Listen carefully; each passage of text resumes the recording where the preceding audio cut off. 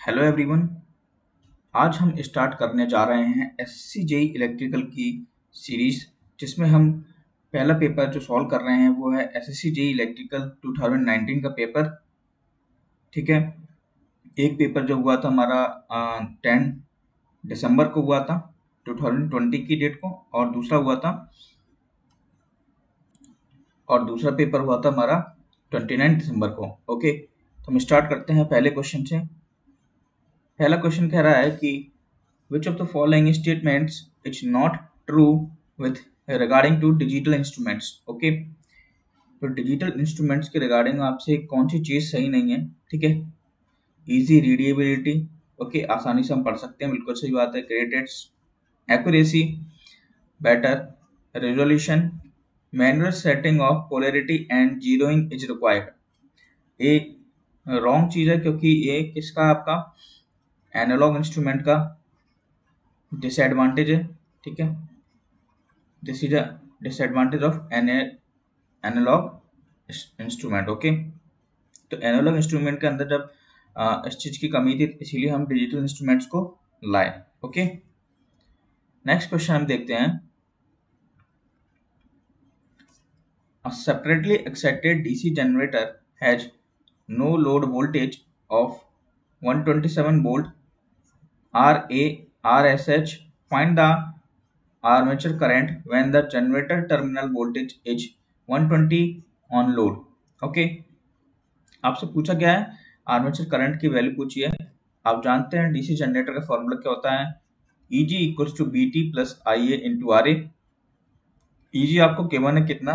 No load voltage 127 volt okay terminal voltage आपको 120 volt की one है। आई एस आपको पूछा गया है और आर की वैल्यू आपको कितनी गिवन है? Zero point zero two. आपको केवल वैल्यूज़ को पुट करना है और आपका आंसर कितना रहेगा? Three fifty ampere.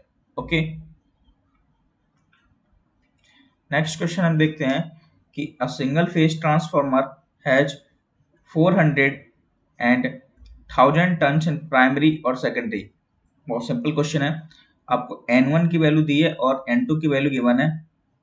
The cross sectional area of the core is 60 centimeter square ठीक है the primary of the transformer is connected to a supply of single phase 50 hertz 500 volt determine the secondary voltage of the transformer आपसे पूछा गया है B2 की value पूछी है यानी कि सेकेंडरी वोल्टेज की वैल्यू आपसे पूछी गई है okay primary turns primary voltage आपको गिवन है सेकेंडरी टर्न्स आपको गिवन है और सेकेंडरी वोल्टेज आपसे पूछा गया है। रिलेशनशिप आप जानते हैं बेसिक्स ट्रांसफार्मर की equations B one upon V two equals to N one upon N two होता है और आपसे करंट पूछा जाता है तो I two upon I one हो जाता है, ठीक है? बी एन आपके इन्वर्सली प्रोपोर्शनल है करंट के, जब आप ट्रांसफॉर्मेशन रेशियो निकालते हैं, ठीक है? आपको केवल वैल्यूज़ को पुट करना है B one B two N one N two और बी टू वहाँ से आपको फाइंड कर लेना है। Identify the device based on the given symbol ठीक है? ये आपको दिया गया है, ठीक है? Field junction field effect transistor ठीक है? अब आपसे पूछा गया है किस प्रकार का सिंबल है? एन चैनल है पी चैनल है मॉसफेट है या पी चैनल मॉसफेट है? तो ये आपका N channel junction field effect transistor है, ठीक है? अगर जब इसकी डायरेक्शन गेट से इन है और सोर्स से आउट है तो आपका एन चैनल जेफेट हो गया ओके अगर वो सोर्स से इन है ओके तो वो आपका पी चैनल जेफेट है। उसी प्रकार एन चैनल मॉसफेट का डायग्राम मेरा, ठीक है? जेफेट और मॉसफेट के डायग्राम में देखिए आप डिफरेंस नहीं है ओके और पी चैनल मॉसफेट का डायग्राम आपका इस प्रकार से शो होगा, ठीक है? तो आपसे नेक्स्ट टाइम जो भी एस एस सी करता है रिपीटिशन अलाउड करता है क्वेश्चन का तो आपसे इन नेक्स्ट डायग्राम्स को याद करके रखना है। आपकी पावर इलेक्ट्रॉनिक्स की जितनी भी डिवाइसेस है सेमीकंडक्टर की, उनके डायग्राम आपको याद होने चाहिए ओके नेक्स्ट क्वेश्चन हम देखते हैं। In an indicating instrument the control torque produced by spring is ठीक है? तो कंट्रोल आप जानते हैं कंट्रोल स्प्रिंग क्या होती है? T C equals to K sine theta है ना? तो टी सी किसके क्वेश्चन लोगे आपके थीटा के। टी सी आपके थीटा के प्रोपोर्शनल है ओके और इक्विलिब्रियम कंडीशन आप जानते हैं? एट इक्विलिब्रियम कंडीशन एक होता है आपका कंट्रोलिंग टॉर्क और एक होता है आपका डैम्पिंग टॉर्क तो कंट्रोलिंग टॉर्क डैम्पिंग टॉर्क के बराबर हो जाता है। Okay now next question damper windings are used in synchronous machine to provide damper windings का यूज़ हम क्यों करते हैं? सिंक्रोनस मशीन में जिससे हम उसकी हंटिंग जो होती है, उसको रिड्यूस कर सकें और स्टार्टिंग टॉर्क को इम्प्रूव कर सकें in the synchronous motor okay तो सिंक्रोनस मोटर में स्टार्टिंग टॉर्क के लिए और इन जनरेटर्स में to prevent the hunting okay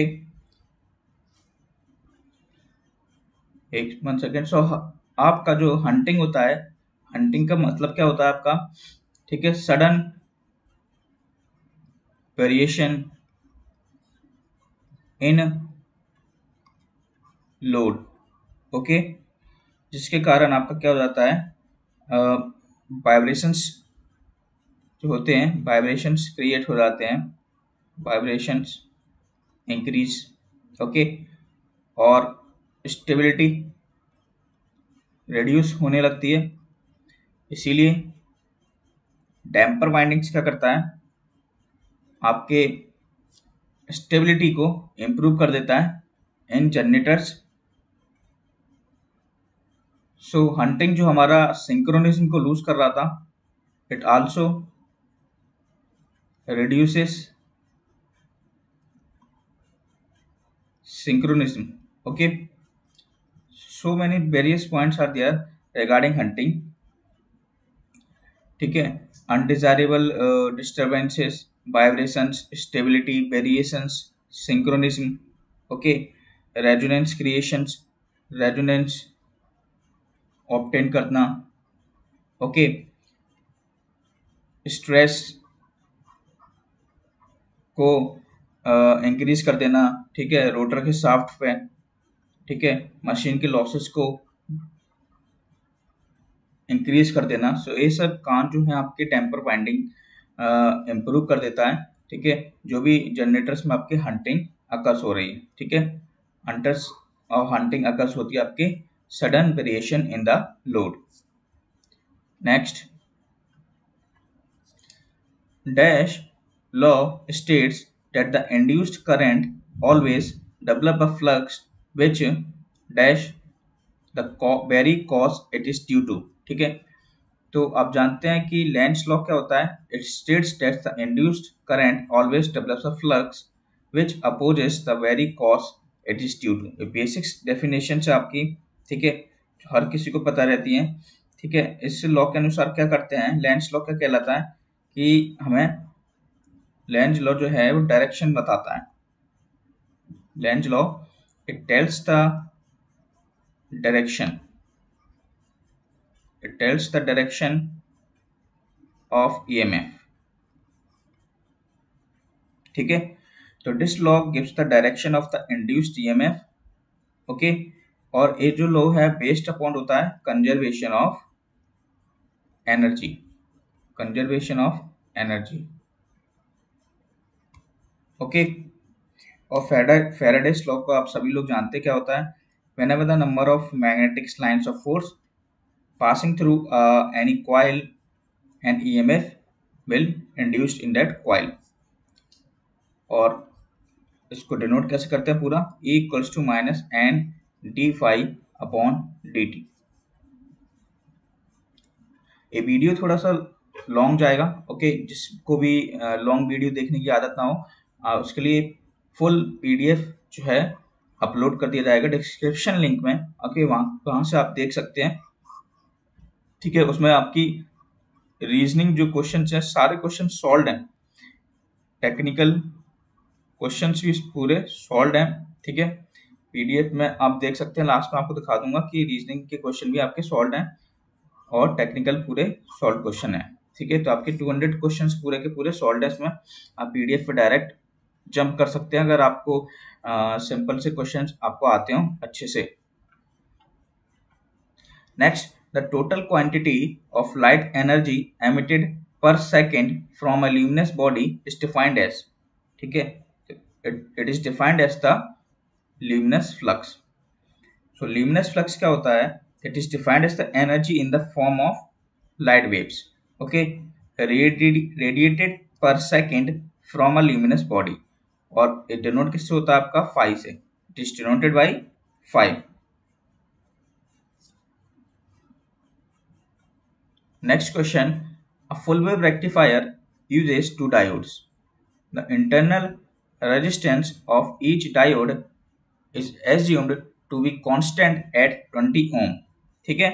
आपको फुल वेव रेक्टिफायर दिया है, जो कि दो डायोड का यूज़ कर रहा है।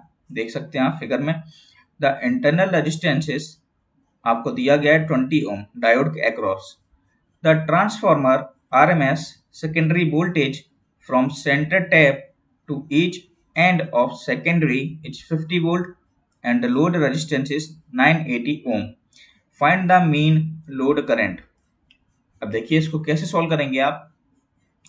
आपसे पूछा गया है मीन लोड करंट यानी कि आई नॉट या आई एल की वैल्यू आपको पूछी गई है which is equals to B upon load resistance plus diode के अक्रॉस का इंटरनल रेजिस्टेंस तो जैसा आप जानते हैं in the case of full wave rectifier the formula is V output equals to two B M upon pi which is the M क्या होगा इस तरफ़? आपको कितना दिया है? Voltage from centre tap at each end of the secondary ठीक है? Each end of the secondary voltage कितना आपका? 50 वोल्ट तो टोटल वोल्टेज कितना होगा? सेकेंडरी के across root two into fifty यानी कि maximum voltage which is the seventy point seven volt okay? इसको जब आप सॉल्व करेंगे तो आपका आएगा seventy point seven volt screen से बाहर हो गया थोड़ा। अब सेवेंटी पॉइंट सेवन वोल्ट आ गया। आपको बी एम की जगह पुट कर देना है सेवेंटी पॉइंट सेवन वोल्ट आपका आंसर आ जाएगा B output forty five volt अब आपको फाइंड करना है। आई आउटपुट फाइंड करना है, यानी कि load current which is equals to V output upon R L plus R naught forty five milli ampere the answer तो आपको फॉर्मूले ध्यान रखना होगा। Full wave rectifier half wave rectifier के लिए मैक्सिमम वोल्टेज ऑफ़ अगर ट्रांसफार्मर का केस है, ठीक है सेकेंडरी में सेंटर टेप में क्या हो जाता है हाफ़ हाफ़ हो जाता है तो फुली कितना होगा मैक्सिमम रूट टू टाइम्स होगा। Next question in an element if a differential charge D Q gives a differential charge D W the rise in the potential तो आप जानते हैं राइस इन द पोटेंशियल क्या होता है आपका? Differential energy upon differential charge that's your formula next question है कि let V be a phase voltage of a three phase four wire distribution system what could be the line voltage of the system three phase four wire distribution system कौन सा होता है आपका? Star connected system आप जानते हैं star connected system कैसा होता है आपका? ठीक है? और एक क्या होता है आपका? न्यूट्रल आर वाई बी और एक न्यूट्रल तो आप जानते हैं in the case of star connected system V L equals to root three times of V P H और phase voltage equals to V L upon root three सही है? ठीक है? Next question power factor of circuit और installation it's defined as power factor आप basics जानते हैं power factor का फॉर्मूला क्या होता है? Cos phi equals to P upon S यानी कि active power upon total power या फिर कॉम्प्लेक्स पावर तो the ratio of power consumed by the circuit in watt और the total complex power input to the circuit in volt ampere तो एक कैसा होता है आपका एक्टिव पावर वॉट और टोटल और apparent power the case V A ठीक है v of t equals to B m cos omega t is applied to a half wave rectifier what is the rms value of the output wave so in the case of half wave rectifier the rms value is the I m upon two. okay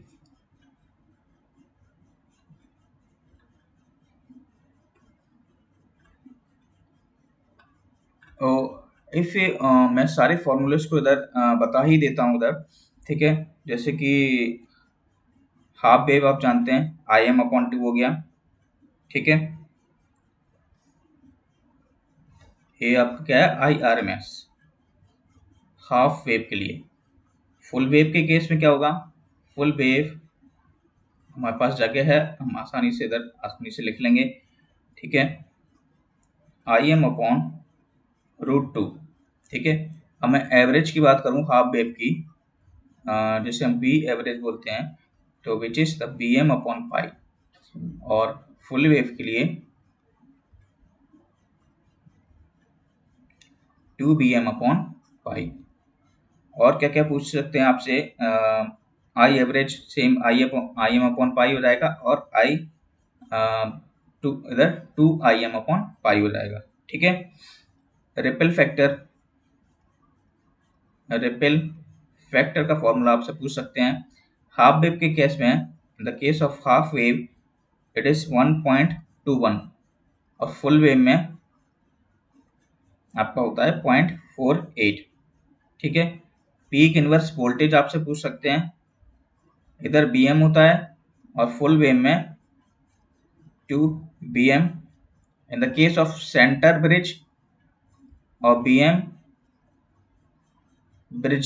full wave rectifier so इसमें half wave में आप जानते हैं एक diode use होता है और इधर आपके सेंटर में दो और ब्रिज में चार, जो आपको इस प्रकार से बनते हैं। ठीक है दिस इज़ ब्रिज और सेंटर अभी आपने पिछले क्वेश्चन में जैसे देखा था।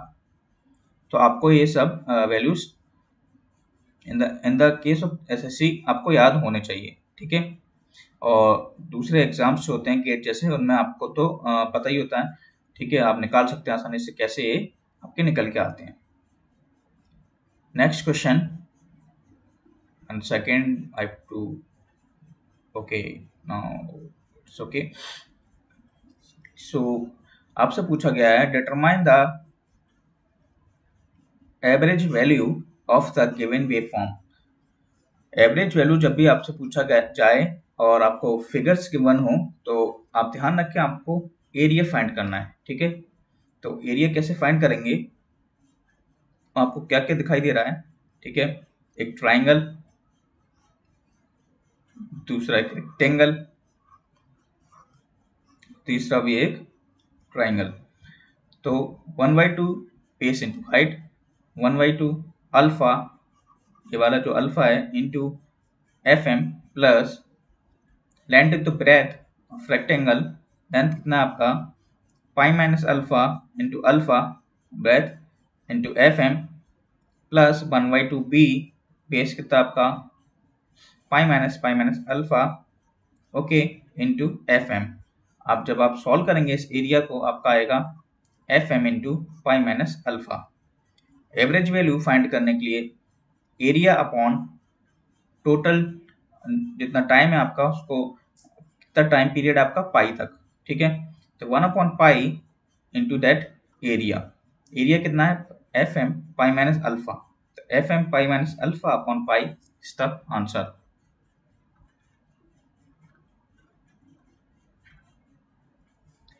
the diversity factor between transformers for residential lightning as तो ये होता है आपका 1.3 के लगभग।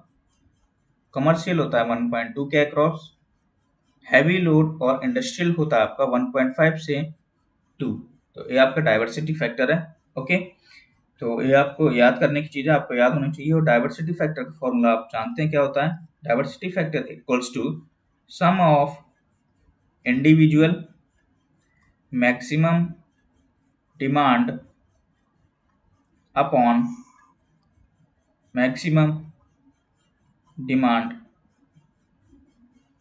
on power station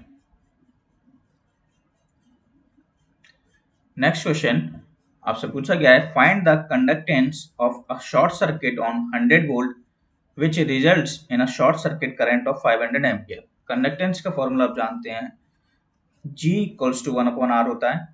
रेजिस्टेंस के रेसिप्रोकल होता है आपका कंडक्टेंस और आर होता है बी अपॉन आई आई ऊपर जाएगा नीचे आएगा आपका बी और आंसर आएगा आपका five important question how is the most economical voltage is selected for transmission and a particular requirement okay. तो ए आप पता लगा सकते हैं आप कैलविन्स लॉ के थ्रू कैलविन्स लॉ क्या बताता है कि the most economical size of the conductor is that for which annual interest and depreciation on the capital cost of the conductor is equals to the annual cost of the energy losses, okay? तो जो भी आपका capital cost है conductor का वो आपके annual energy losses के बराबर होना चाहिए। ठीक है, ये आपका ग्राफिकल रिप्रेजेंटेशन है।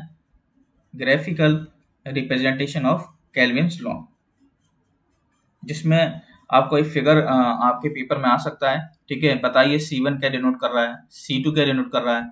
इस ग्राफ को क्या डिनोट कर सकते हैं? ठीक है तो ये ग्राफ आपका टोटल एनुअल कॉस्ट को डिफाइन कर रहा है।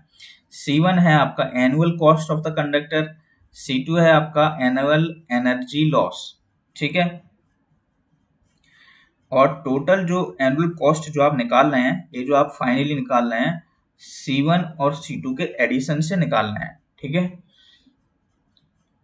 और जो आपका लोअर मोस्ट पॉइंट है टोटल एनुअल कॉस्ट कर्व में, ये आपको बताता है कितना अच्छा इकोनॉमिकल साइज़ है कंडक्टर का, ठीक है तो ए फॉर्मूला सॉरी ये डायग्राम जो है आपको याद होना चाहिए। एनुअल कॉस्ट और किसके बीच में बनता है? एनुअल कॉस्ट के बीच में और एरिया के बीच में, ठीक है?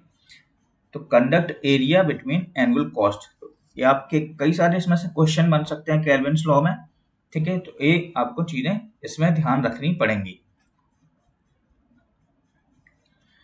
Find the current I one and voltage V two in the given network ठीक है? आपको सर्किट दिया गया है नेटवर्क आपसे पूछा गया है कि आई वन की वैल्यू कितनी है और वी टू की वैल्यू कितनी है। अब देखिए टू एम्पियर इस नोड पे आ रहा है और उस नोड से थ्री पॉइंट फाइव एम्पियर जा रहा है। तो पैरेलल में है दोनों। जब भी आपने बेसिक्स पढ़ा होगा तो बेसिक्स में क्या होता है कि सीरीज़ में वोल्टेज ऐड हो जाते हैं और पैरेलल में करंट ठीक है?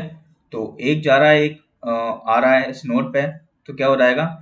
जो बड़ा है, ठीक है, उसकी डायरेक्शन में हम 1.5 पॉइंट ले लेंगे, क्योंकि 3.5 point five minus two one point अब in the case of this इसमें 32 वोल्ट क्या है?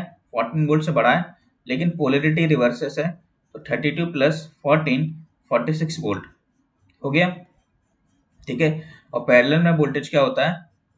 सेम होते हैं तो इसके अक्रॉस भी कितना हो जाएगा? 42 वोल्ट सॉरी 46 वोल्ट और आपका आंसर क्या हो जाएगा? 46 वोल्ट और 1.5 एम्पियर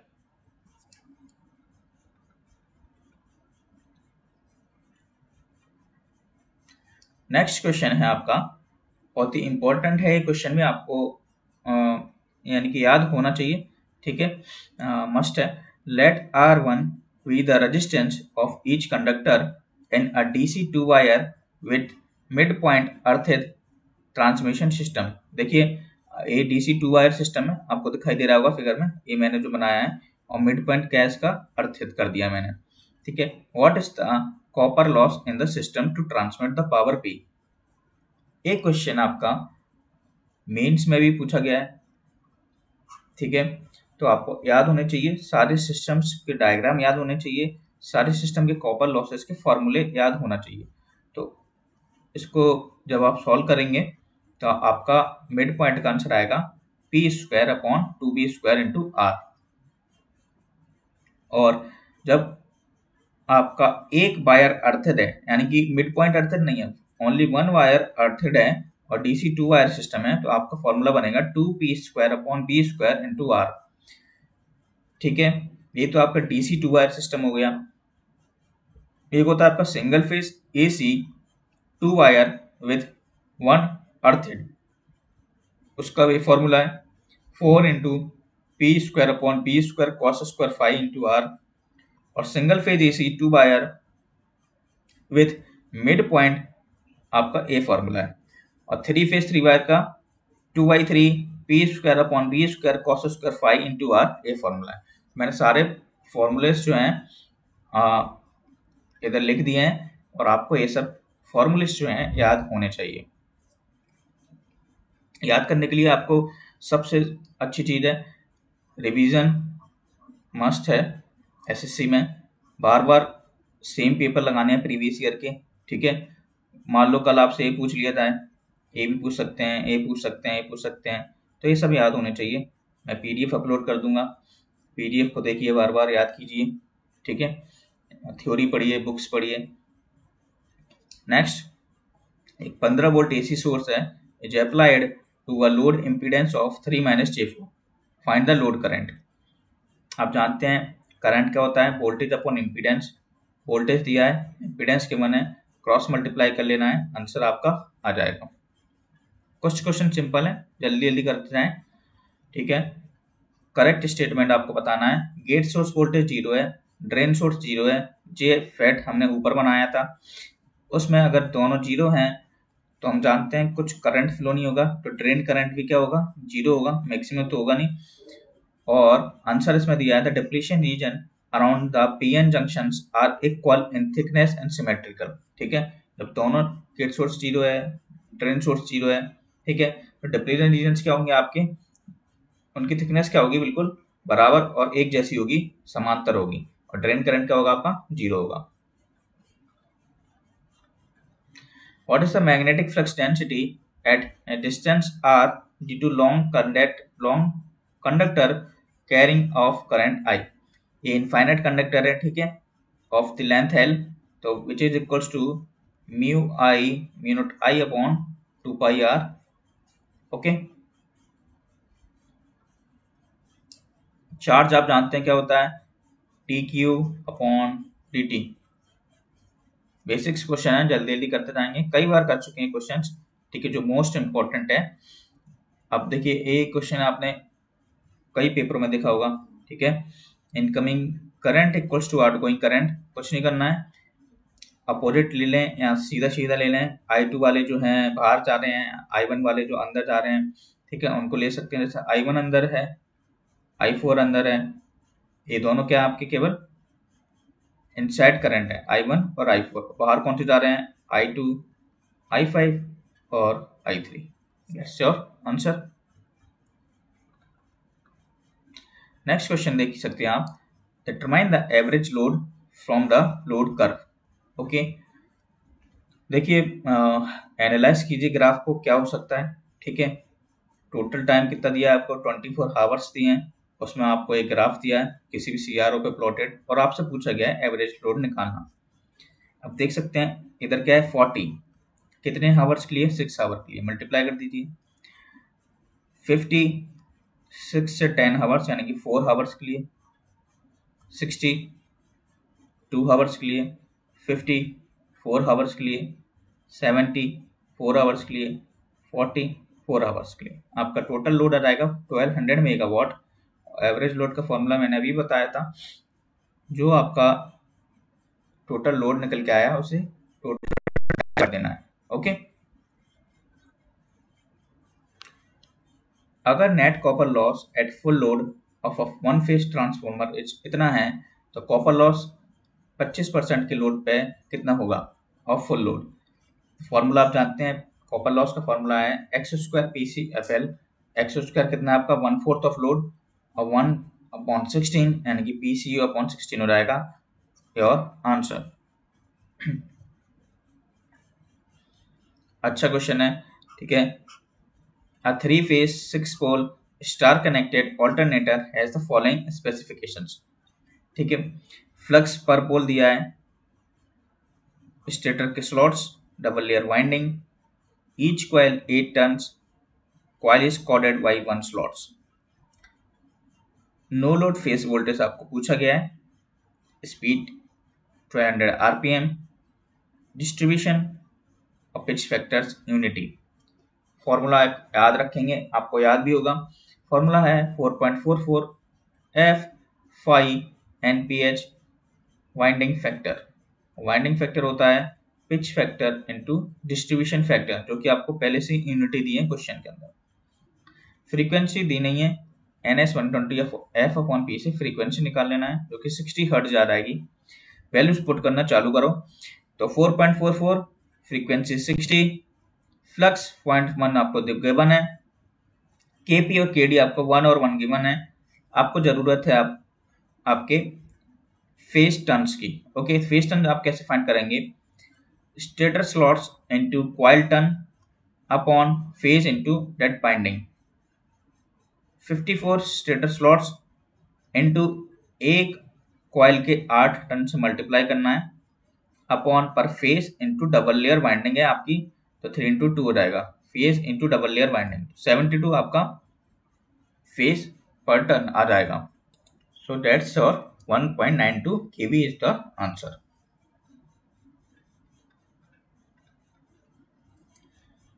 form factor का formula R M S upon average first year के क्वेश्चंस ओके नेक्स्ट क्वेश्चन एक डीसी शॉर्ट कंपाउंड जनरेटर है, जिसकी स्पेसिफिकेशन आपको गिवन है आर्मेचर रेजिस्टेंस गिवन है सीरीज़ फ़ील्ड रेजिस्टेंस गिवन है शंट फ़ील्ड रेजिस्टेंस गिवन है।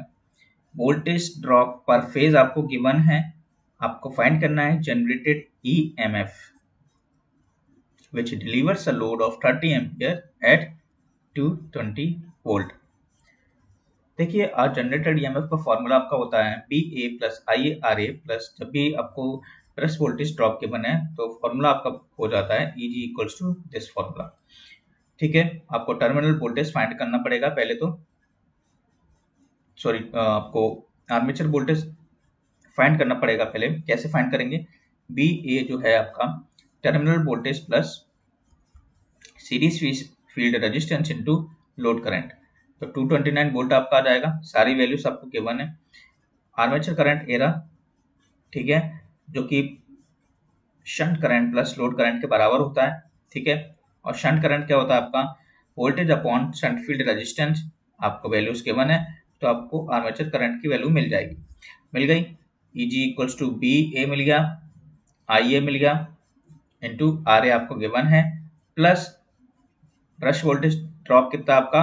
One volt two into one answer आपका कितना रहेगा? Two thirty two point five six volt practice करते रहिए इन क्वेश्चनों की बार बार वैल्यूज़ को बदल के देखें आप खुद और दूसरी तरीके से इसको सॉल्व करें एक एक दिन करके। ठीक है? आपको ये सब यूज़ हो जाएगा। Next in case of capacitor start capacitor run phase induction motor two capacitors are use okay a capacitor with dash value is required for optimum running condition okay uh, which is connected permanently in series with the auxiliary winding ठीक है तो आपसे capacitor start capacitor run single phase motor आपको given है ठीक है this is a single phase question ठीक है आपसे क्वेश्चन में uh, ये पूछा गया है कि जो कैपेसिटर स्टार्ट कैपेसिटर जो है विथ कौन सी वैल्यूज़ को हम यूज़ करेंगे for the optimum running condition जब विच इज़ कनेक्टेड परमानेंटली अगर हम उसको परमानेंटली सीरीज़ में ऑक्सिलरी वाइंडिंग के साथ कैपेसिटर को जोड़ दिया जाए तो जो आपकी वैल्यू होगी वो होगी less than one fifth of the starting capacitor ठीक है?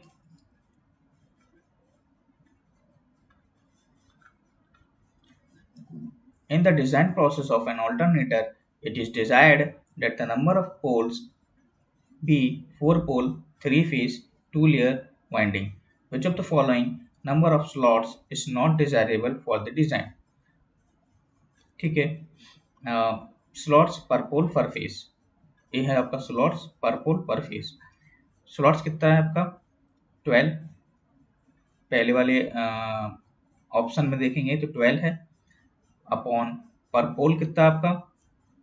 फोर पोल और फेस कितना आपका? थ्री तो वन इंटीजर आ गया। उसी प्रकार दूसरे ऑप्शन से टू आ गया। तीसरे ऑप्शन से थ्री आ गया। लेकिन फोर्थ ऑप्शन में क्या हुआ? It is 2.66 which is a non integer okay? Determine the value of ohm meter when the r की वैल्यू आपको 16 ओम गिवन है। ये r क्या आपका? 16 ओम ठीक है? तो 16 और 4 कैसा आपका? सीरीज़ में। 16 प्लस फोर ट्वेंटी और 20 और 20 पैरेलल में है। ठीक है? विच इज़ टेन ओम हो जाएगा। और ten ohm plus two which is the 12 ohm तो सिक्सटीन प्लस फोर सबसे पहले which is the parallel twenty ohm which is the plus two which is equal to twelve ohm simple formula E equals to P fine Z and Z upon sixty है lap wound है A equals to P wave wound में क्या होता है आपका? A equals to two okay P pole है तो P A equals to P होता है तो पी हो गया. सेम तो P five hundred upon sixty in synchronous motor, the load on the rotor is increased. and the rotor progressively tends to synchronous motor के case में अगर motor पर लोड को इंक्रीज किया जाएगा और the rotor progressively tends to fall back in phase by some angle but still continues to run synchronously okay इस case में आपका जो कुछ एंगल से फॉल बैक होगा, ठीक है? But it still continues to run synchronously okay जब भी लोड बनाने की कंडीशन आएगी तो आ, कुछ आ, रोटर पोल्स भले ही स्लाइटली बैक हो जाए लेकिन स्टेटर पोल से लेकिन हमारा जो मोटर है वो सिंक्रोनस स्पीड पे फिर भी वर्क करता रहेगा। A fall back in phase by some angle का मतलब क्या है? कि the rotor poles falls slightly behind the stator poles ठीक है? कुछ जैसे इंडक्शन मोटर के केस में स्लिप आती है, उसी प्रकार की कंडीशन आएगी सम एंगल से थोड़ा सा शिफ्ट उड़ाना। बट नियरली फिर भी वो सिंक्रोनसली स्पीड पे मूव करेगा। नेक्स्ट आपको क्वेश्चन क्या माना है कि एक 120 वोल्ट सप्लाई तीन लैंप्स पैरेलल में कनेक्टेड हैं। उनकी रेटिंग्स आपको गिवन है। टोटल रेजिस्टेंस और करंट आपसे पूछा गया है। सिंपल आपका क्वेश्चन है। ठीक है? आपको सबसे पहले क्या निकालना पड़ेगा? रेजिस्टेंस निकालना पड़ेगा, फिर टोटल करंट निकालना पड़ेगा। आपके सामने सब दिया हुआ है। R V one R V two R R V three आप निकाल सकते हैं। P square upon P square upon B P square upon B P square upon B से तीनों निकाल लेना फाइंड कर लेना। आर इक्विवेलेंट जैसे आपका आ जाएगा total I equals to voltage upon R equivalent कर देंगे आपका 1.67 एम्पियर आंसर आ जाएगा नेक्स्ट क्वेश्चन थोड़ा जल्दी जल्दी करते हैं। Okay we have to solve the second part of the video also ठीक है? ये तो आपका 29 अक्टूबर वाला पेपर है। तो 10 अक्टूबर वाला पेपर है और टाइम ठीक है? The number of parallel paths in simplex wave wound generator तो ए इक्वल्स टू आप जानते हैं वेव बाउंड के केस में होता है। नंबर ऑफ़ पैरेलल पाथ्स अगला क्वेश्चन है कि एक मूविंग कॉइल इंस्ट्रूमेंट है। Internal equivalent resistance of 10 ohm 40 milli ampere to produce full scale deflection how do you convert that instrument to measure the current 0 ampere to 2 ampere okay R equals to R M upon M minus one जब आप solve करेंगे तो जो आपका M आएगा मल्टीफ्लाइंग factor होता है आपका आई अपॉन आई एम जब भी फुल स्केल डिफ्लेक्शन की वैल्यू दी होती है, वो आपका मीटर का करंट होता है, यानी कि 40 मिलियन पर आपका आई एम है। आई आपका जो नॉर्मल करंट दिया है, वो आपका करंट है two ampere R S H आपको पुट करना है। शंट रेजिस्टेंस यानी कि पैरेलल में आपके इंस्ट्रूमेंट के लगा होगा। तो आंसर आएगा zero point two zero four one इसको सॉल्व करने पे। ठीक है? ऑप्शन नंबर डी आपका आंसर हो जाएगा। ए फुल वेव रेक्टिफायर है। अभी आपको सारी फॉर्मूलेस आपको बताए थे। तो एवरेज वैल्यू क्या था इसका? Two V M upon pi which of the following types of watt hour meter in AC circuit में जो यूज़ होता है तो वो होता है आपका इंडक्शन टाइप ठीक है? अब और बाकी के आप जानते हैं एक है आपका? डीसी मूविंग आ रहा है आपका एसी और डीसी ठीक है? Next choose the incorrect statement with regard to a forward biased PN diode ठीक है? आपसे पीएन जंक्शन डायोड के फॉरवर्ड बाइस के केस में इनकरेक्ट स्टेटमेंट कौन सा है? The potential barrier is constant irrespective of the magnitude of the applied voltage बिल्कुल गलत चीज़ है। जैसे जैसे आप वोल्टेज को अप्लाई करते हैं, वैसे भी आपका पोटेंशियल वेरियर जो होता है आपका, वो चेंज करता रहता है। कितनी अमाउंट में आपने वोल्टेज को अप्लाई किया है या फ़ील्ड को अप्लाई किया है। नेक्स्ट क्वेश्चन है कि an induction motor is expected to run at 950 RPM with a power supply of 50 hertz what could be the number of poles in the induction motor सीधे सीधे आपको फॉर्मूला को apply कर देना है और आपको पोल्स की वैल्यू फाइंड कर लेना है। नेक्स्ट है which of the following statement is not true for discharging lamps with regard to metal filament lamps okay कौन सी सही नहीं है? It operates at the high power factor is the wrong answer for the this filament metal filament lamp okay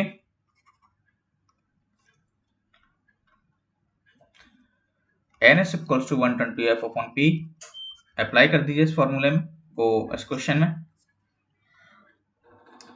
wire की length given है.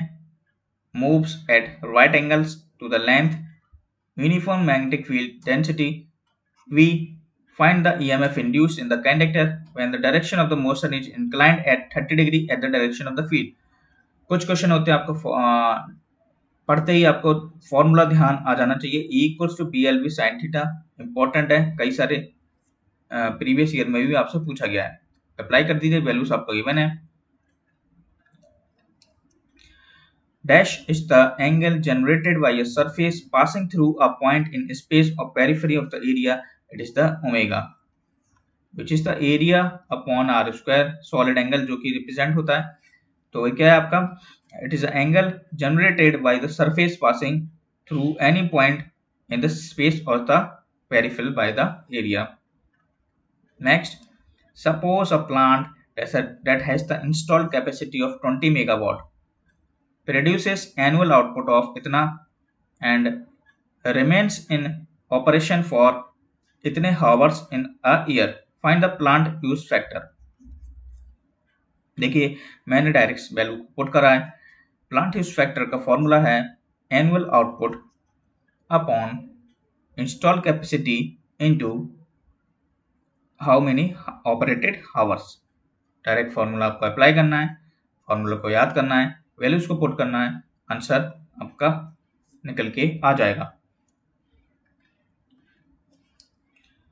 Incorrect statement पूछी है conventional sources यानी कि non renewable in electrical energy generation आपको साफ़ साफ़ दिख रहा है ऑप्शन नंबर डी कि overall conversion efficiency is very good in conventional sources आप जानते हैं थर्मल पावर प्लांट की जब स्टार्टिंग करते हैं तो सेवेंटी परसेंट पावर तो लॉस हमारे आउटपुट तक पहुँचते पहुँचते हो जाती है। तो ओवरऑल कन्वर्सन एफिशिएंसी हमारी कैसे अच्छी हुई?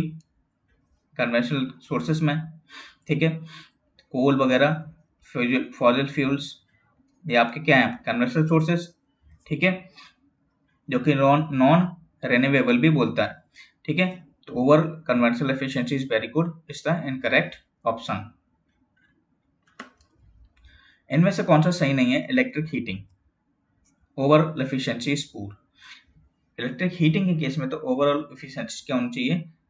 बहुत अच्छी होनी चाहिए, क्योंकि एफिशिएंसी का फॉर्मूला होता है P output upon P input तो पी आउटपुट यानी कि जो आउटपुट हमें हीटिंग जो ऑप्टेन होनी चाहिए, वो ज़्यादा होनी चाहिए। ओके सो ओवरऑल एफिशिएंसी भी क्या होगी? ज़्यादा होगी।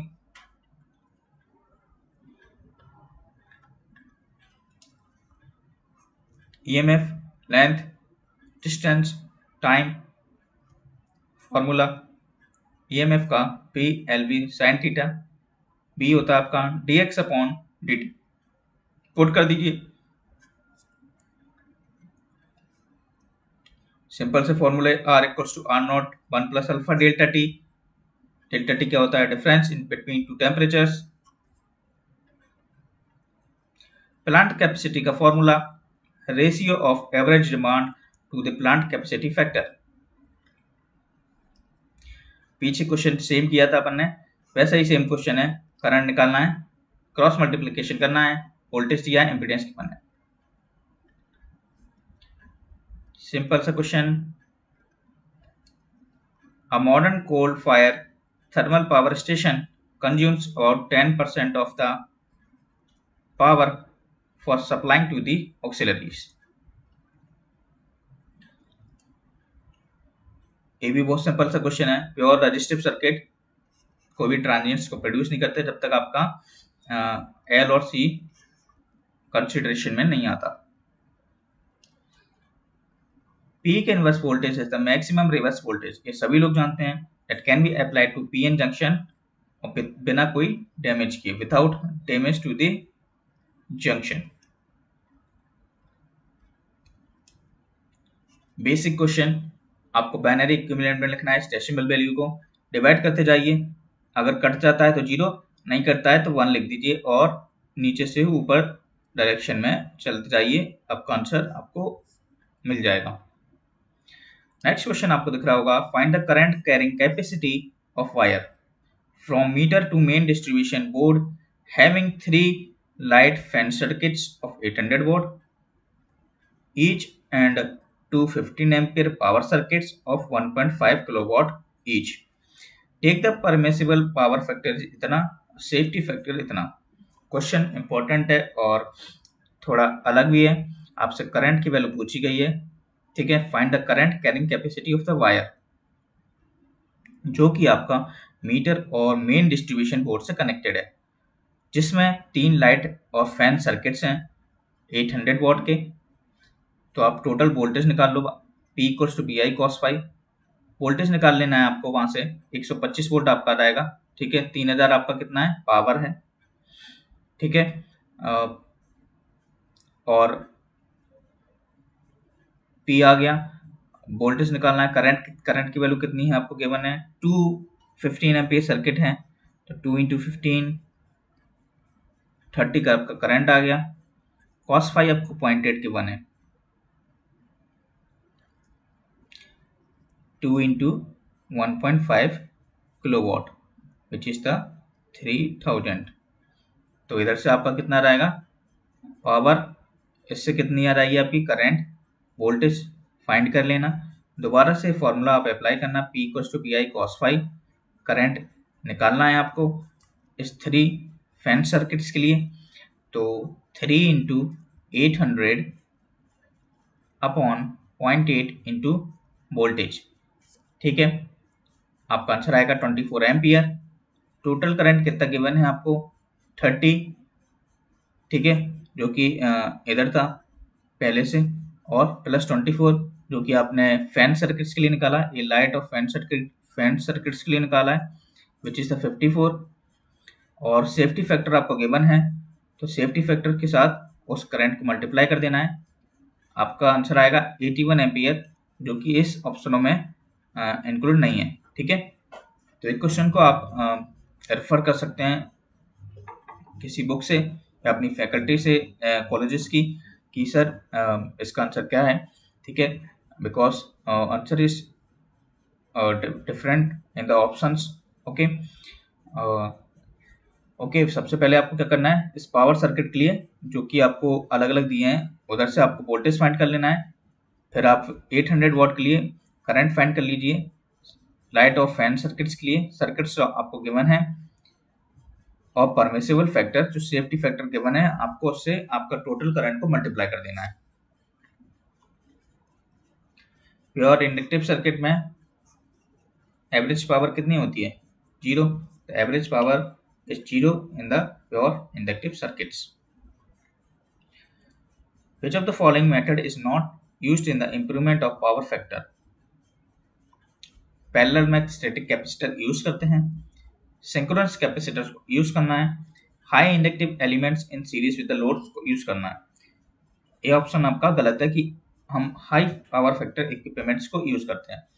देखिए मोस्टली थ्योरी तो आपको अपने पेपर से ही मिल जाती है। जैसे कि ए ऑप्शन मिल गया, ये वाला ऑप्शन मिल गया, ये ऑप्शन मिल गए कि आप कैसे पावर फैक्टर को इम्प्रूव कर सकते हैं। कौन सा नहीं होता, ये भी मिल जाता है। ठीक है? तो प्रीवियस को लगाना बहुत ज़रूरी होता है, ठीक है? So previous year papers are important एक हाइब्रिड स्टेपिंग मोटर है एट पोल्स हैं which have been castellated to have six teeth each अगर रोटर के टीथ हैं आपके सिक्सटी और स्टेपिंग एंगल आपसे पूछा गया है। देखिए, इसको कैसे फाइंड करेंगे? जो आपके रोटर के तीत हैं, उसको तो सिक्सटी गिवन है। पहले आपको निकालना पड़ेगा स्टेटर के तीत। और स्टेटर के तीत कैसे निकलेंगे? पोल्स इंटू और उस पोल्स में कितने टीथ को कास्टल किया गया है? छह टीथ को। तो उसको मल्टीप्लाई कर देना है। तो एट इंटू सिक्स ठीक है? जो कि फोर्टी एट आ जाएगा और रोटर के तीत कितने हैं? सिक्सटी मैंने इसको रिवर्स में लिख दिया है, जिससे कि आपका स्टेपिंग एंगल पॉजिटिव आए। इंटू फॉर्मूला आपका होता है stator teeth minus rotor teeth into three sixty degree upon stator के तीत और रोटर तीत ठीक है sixty minus forty eight into three sixty degree upon दोनों का multiplication which is the one point five degree A single phase universal motor is operated with AC source. Okay, the torque of the motor during the negative half cycle of the input current.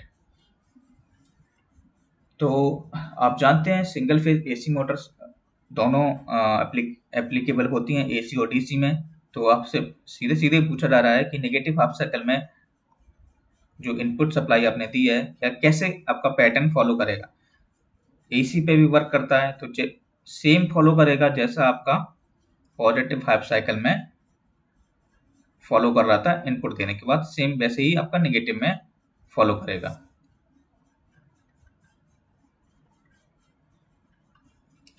Total current given है आपको circuit का। आपसे पूछा गया है current find करना है in each branch okay each branch में कैसे करंट फाइंड करेंगे? इधर देख लीजिए टू और एट ओम है आपका गिवन ठीक है? जब आप इस वाले I1 और I2 को निकालेंगे तो I1 का क्या आएगा? टेन अपॉन टेन यानी कि I equals to V upon R one ampere तो इधर आ गया 2.25 आपका टोटल करंट था तो I2 कितना आ जाएगा 1.25 जो कि रिमेनिंग करंट है, ठीक है पैरेलल में है सब तो 10 वोल्ट स्क्वायर क्रॉस भी है स्क्वायर क्रॉस भी है तो I equals to V upon R I one तो आपका वन एम्पियर आ गया, और वन एम्पियर इधर आ गया तो इधर जाने वाला करंट कितना बचेगा? 1.25 point two five minus one which is the one point two five ampere circuit को देख के ही आप पता लगा सकते हैं।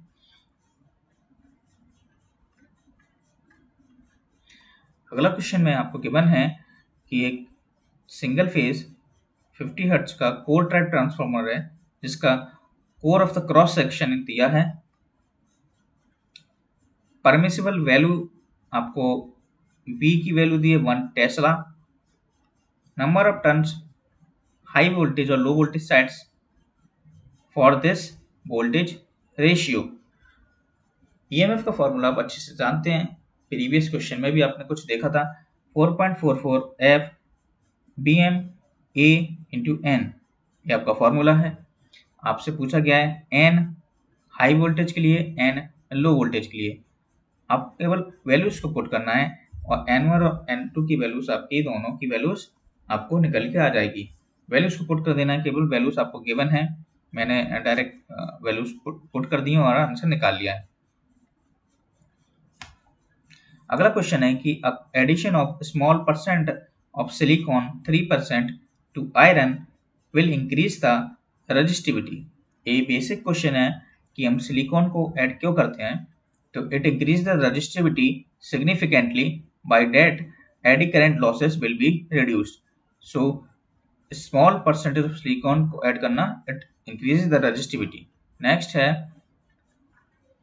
find the resistance of a one kilometer strip of a copper with a rectangular cross section of 2.5 centimeter by 0.05 centimeter. Resistivity की value given है रेजिस्टेंस निकालना है। R equals to rho L upon A basic formula सारे basic फॉर्मूले में आपको apply कर देना है। रजिस्टिविटी गिवन है लेंथ कितना है आपका वन किलोमीटर और एरिया कैसे निकालेंगे? तो A 2.5 centimeter into zero centimeter cross section length तो ब्रीथ के हिसाब से। तो एरिया आपका निकल जाएगा और रजिस्टेंस भी आपका फिर निकल गया। 1.4 ohm double revolving field theory important theory है। आपको कुछ चीज़ें याद रखना पड़ता है इसमें।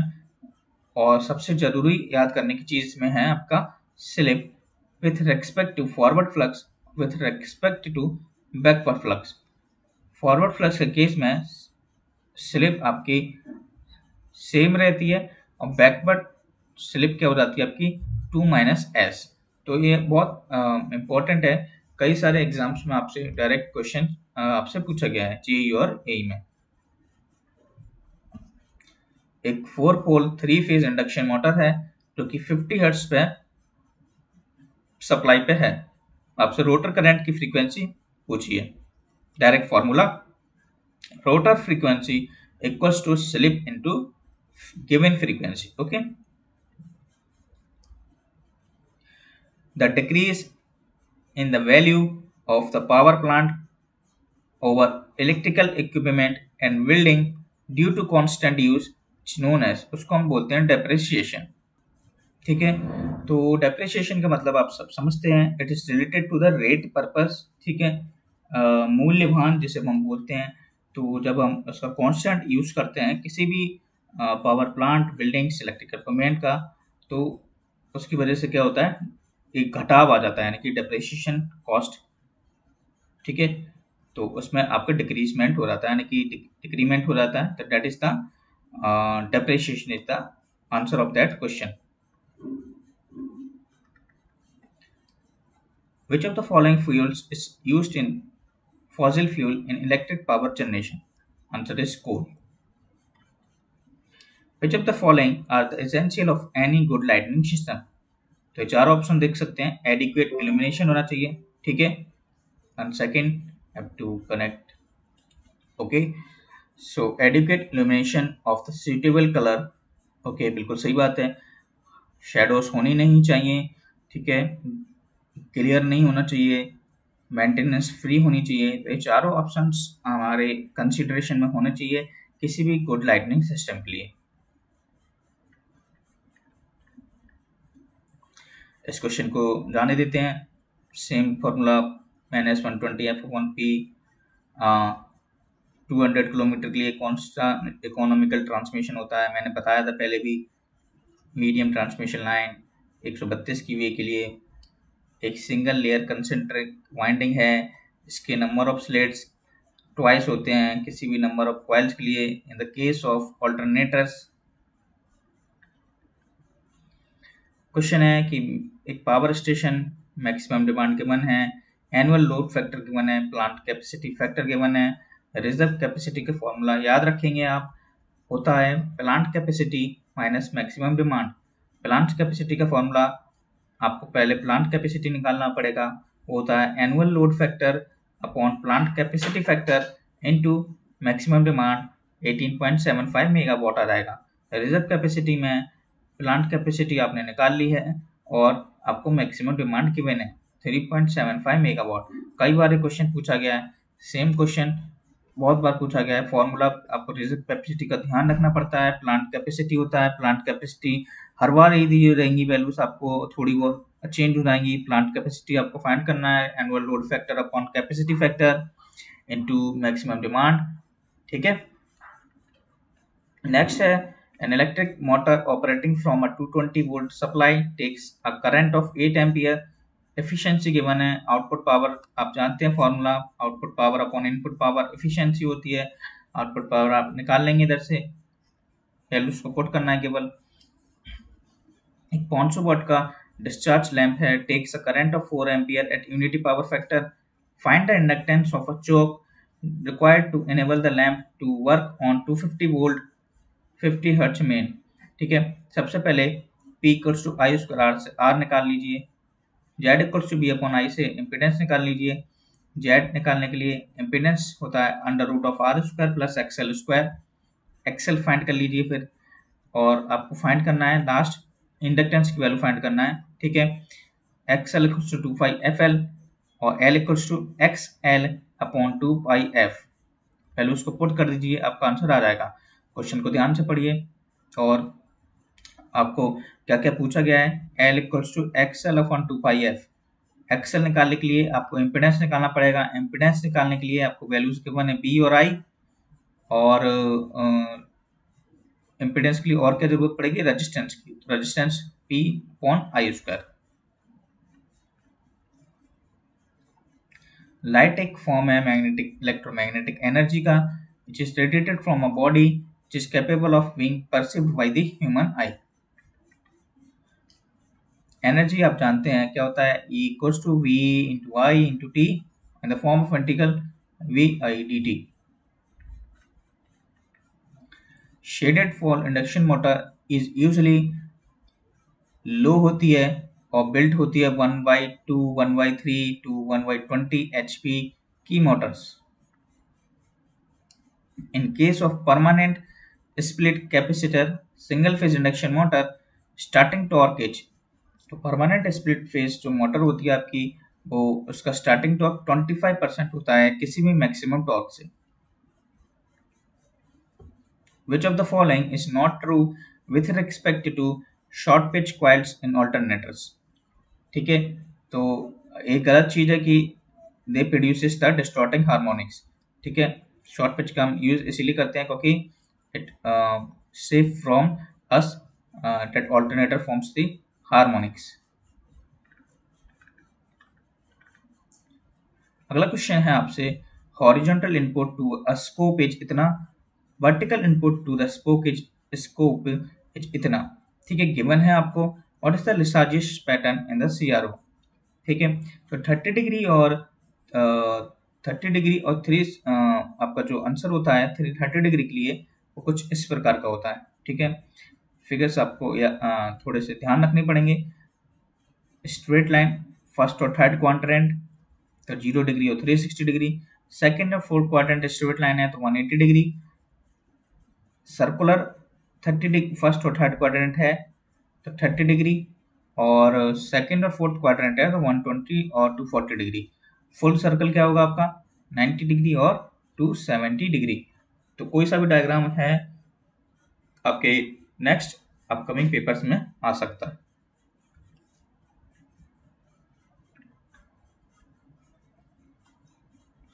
Determine the current in the given circuit और आपको गिवन है सोर्स वोल्टेज की वैल्यू करंट फाइंड करना है बी अपॉन जेड ठीक है?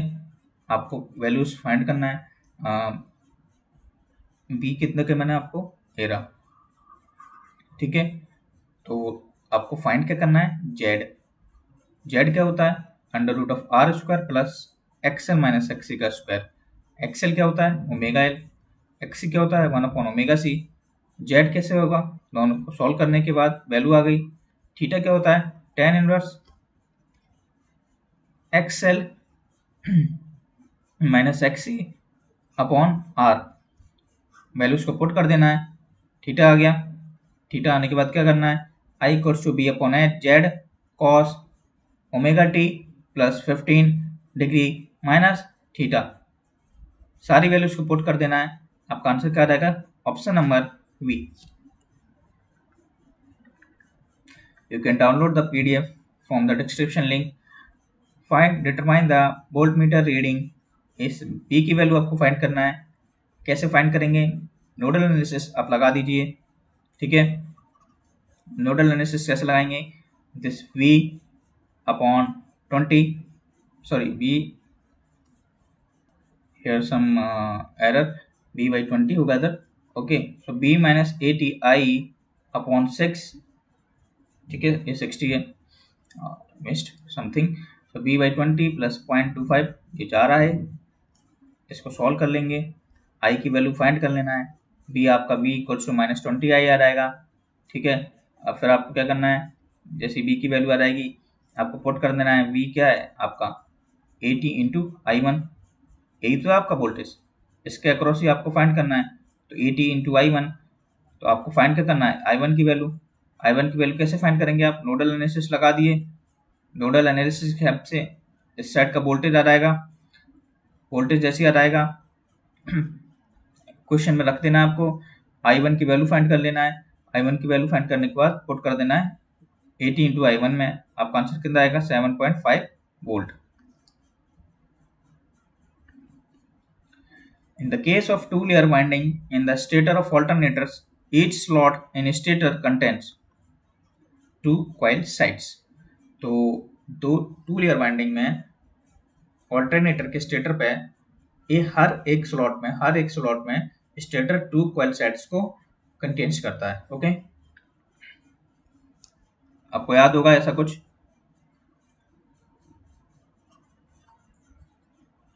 okay for last question for this one. A device store 500 joule of energy. Energy given है current given है टाइम गिवन है. वोल्टेज कैसे निकालेंगे? एनर्जी का फॉर्मूला होता है पावर इंटू टाइम और V into I into T एक single phase 50 hertz 40 KVA transformer है. वोल्टेज का रेशियो गिवन है प्राइमरी रेजिस्टेंस गिवन है सेकेंडरी रेजिस्टेंस गिवन है टोटल कॉपर लॉस आपसे निकालना है। ठीक है? टोटल कॉपर लॉस निकालेंगे कैसे आप? के वी ए की वैल्यू आप जानते हैं। V two into I two होता है। ठीक है? सेकेंडरी साइड के लिए। अब सबसे पहले के वी ए कितना गिवन है आपको? Forty K V A voltage secondary कितना है आपका? टू फिफ्टी वोल्ट उधर से आपने निकाल लिया आई टू की वैल्यू वन सिक्सटी लेकिन हमको हाफ़ लोड पे निकालना है। हाफ़ लोड पे आपका करंट कितना हो जाएगा? एटी एम्पियर ठीक है? और कॉपर लॉस का फॉर्मूला क्या होता है? I T square into that resistance across the secondary side secondary side को जब आप रेफर uh, करेंगे तो uh, तो आपका कितना आएगा? R two plus K into ठीक है? Upon into R sorry R one upon K square one second R O two equals to resistance plus ठीक है R one upon K square ये इधर से आया निकल के, ठीक है, मैंने लिख दिया। आपकी वैल्यू जो होगी रिफर्ड वैल्यू कितनी आएगी आपकी? Zero point zero three three five copper loss का फॉर्मूला क्या होगा? I square into R which fourteen point 214.2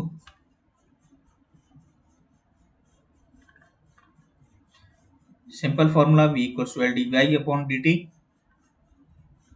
next question है, आपसे पूछा गया है करंट्स I1 और I2 की वैल्यू सिंपल नोडल एनालिसिस आपको अप्लाई करना है। नोडल एनालिसिस कैसे अप्लाई करेंगे? V माइनस थर्टी अपॉन ठीक है? ये सब स्प्रिंट b minus thirty upon four plus V upon two plus V minus forty upon four equation पहली आ जाएगी। मतलब वोल्टेज आपका निकल के आ गया इधर से। करंट आप कैसे निकालेंगे? V one minus thirty upon four magnitude के हिसाब से करंट निकालना है तो आई वन आई टू आपको निकल के आ जाएगा। नोडल एनालिसिस मैंने इतनी बार करवाई है, कुछ पेपरों में, आपको इसीलिए मैंने डायरेक्ट सॉल्यूशन लिख दिया है। आप आसानी से सॉल्व कीजिए। Which of the following has to be considered for overhead, underground, electric power, transmission distribution system. Option number 1 The voltage at the consumer premises must be maintained within the 4 to 6% of the declared voltage. बिल्कुल सही option number B the transmission cost should be unduly excessive ये गलत option है ऐसा नहीं होना चाहिए the insulation resistance of the whole system should be very high बिल्कुल सही the loss of the power system itself should be small percentage about 10% of the power transmitted bilkul correct so option number a and c and d is the right answer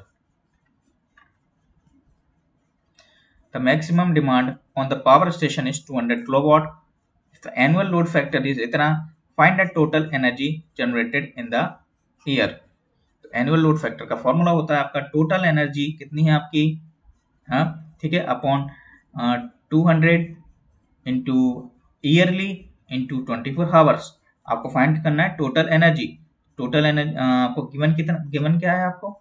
Annual load factor which is the fifty percent fifty percent कितना हो गया? Point five तो total energy कितनी हो जाएगी? Eight seventy six mega watt hour magnetic flux density आप जानते हैं it is represented in tesla जब दो parallel conductors carry current in them the force between the conductor is proportional to mu naught uh, i1 i2 l upon 2 pi r.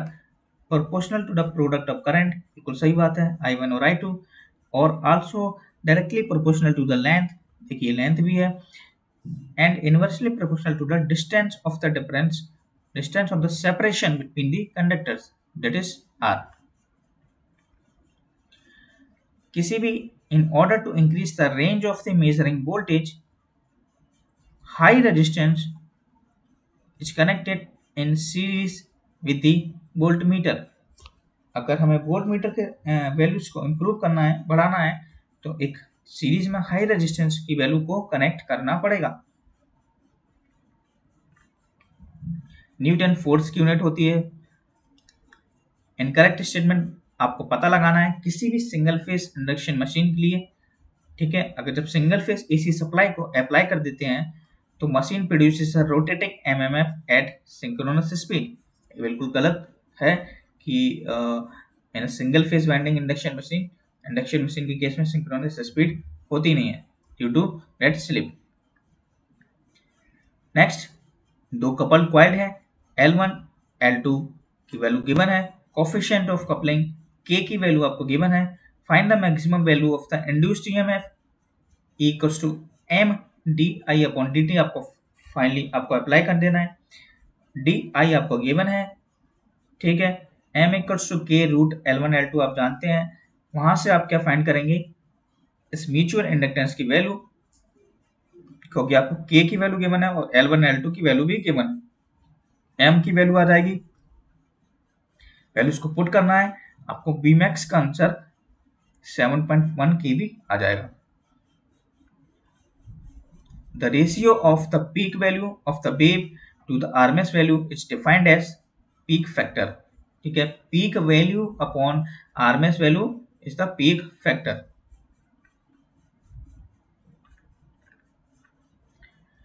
stator of split phase induction motor has two windings the main winding and the auxiliary winding जो कि displaced होती है आपकी 90 degree पे। तो ये 29 अक्टूबर का paper हमने खत्म करा। अभी हम करेंगे 10 अक्टूबर वाला paper okay okay? So here is the first question okay a power station has maximum demand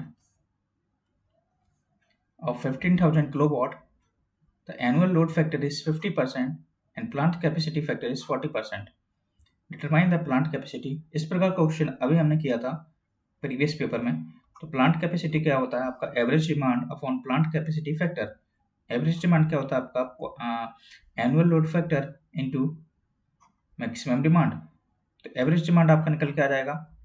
plant capacity में आपको एवरेज डिमांड निकल के जो आया है अपॉन प्लांट कैपेसिटी फैक्टर कितना के बने फोर्टी परसेंट सेम ऐसे क्वेश्चन आपका प्रीवियस था प्रीवियस ईयर के पेपर में, ठीक है? उसको भी आप देख सकते हैं कि उसमें आपसे पूछा था प्लांट कैपेसिटी ठीक है? फैक्टर नेक्स्ट क्वेश्चन है आपका which of the following types of instrument is to measure voltage only? Electrostatic type instruments जो होते हैं वो आपके केवल वोल्टेज को मेजर करने के काम आते हैं। अगला क्वेश्चन आप देख सकते हैं कि एक कैलकुलेट आपको करना है एनुअल बिल कंज्यूमर के लिए, जिसका मैक्सिमम डिमांड है 100 किलोवाट पावर फैक्टर गिवन है लोड फैक्टर गिवन है। द टैरिफ जो है वो 50 पर के दे रहा है। फिफ्टी रुपीज़ पर के आपको टैरिफ दे रहा है per annum of maximum demand plus ten paise per kilowatt our consume ठीक है? जो उसकी मैक्सिमम डिमांड है, उसके हिसाब से वो टेन पैसे पर किलोवाट आवर कंज्यूम कर रहा है। अब नंबर ऑफ़ यूनिट कंज्यूम कितने होंगे? Load factor into maximum demand into into eight seven six zero okay तो आप क्या सॉल्व करेंगे? लोड फैक्टर आप कितने गिवन है? पॉइंट सिक्स ठीक है मैक्सिमम डिमांड कितना है आपका? Hundred kilowatt into eight seven six zero ये आपकी कितनी आ गई? नंबर ऑफ़ यूनिट्स कंज्यूम अब K V equals to kilowatt upon cos five K V कितना आ गया आपका? वन ट्वेंटी फाइव टैरिफ कैसे फाइंड करेंगे? जो के वी आपने निकाला है ठीक है तो fifty rupees per K we वो दे रहा था तो इंटू फिफ्टी रुपीज़ हो गया के वी प्लस जितनी यूनिट्स जो निकल के आई हैं उसने बताया कि कितनी जो टेन पैसे वो दे रहा है पर किलोवाट हावर मतलब कितनी यूनिट जो कंज्यूम कर रहा है उससे उसका मल्टीप्लाई कि, किसका हो जाएगा आपका? जितने वो दस पैसे का मल्टीप्लाई कर देंगे। तो इतनी टोटल जो है आपका एनुअल बिल बनेगा। इतना टैरिफ वो बना पाएगा अपना, ठीक है? किसका? कितना केवीए के हिसाब से कितना रुपए दिया उसने? पचास रुपए और यूनिट कंज्यूम दस पैसे वो दे रहा है, ठीक है? यूनिट कंज्यूम के हिसाब से। अगला क्वेश्चन है कि एरिया गिवन है करंट गिवन है।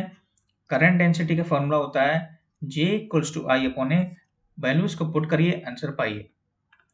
अगला है, the rate at which an electrical energy is supplied to a consumer is known as tariff. अभी हमने देखा, प्रीवियस क्वेश्चन कैसा था? With respect to electrical heating, select the incorrect statement. एक क्वेश्चन सेम रिपीट है, पिछले पेपर में भी है, अभी मैंने पेपर सॉल्व किया, उसमें भी था एक क्वेश्चन। अगर आप ध्यान से देखें तो what is the fundamental angular frequency period आपको zero point zero two second given है omega equals to pi F F equals to one upon T flow of small current during reverse wise condition उसको हम बोलते हैं leakage current select the correct answer with respect to given network कुछ नहीं है, आपको loop follow करते जाना है पॉजिटिव को पकड़ना है या फिर नेगेटिव को पकड़ना है it's depend on you The overall efficiency of the steam power plant is given as heat equivalent of electrical output upon heat of combustion of coal, which is the overall efficiency. और ये लगभग होती है 29 to thirty percent आजकल thirty percent तक हो गई है।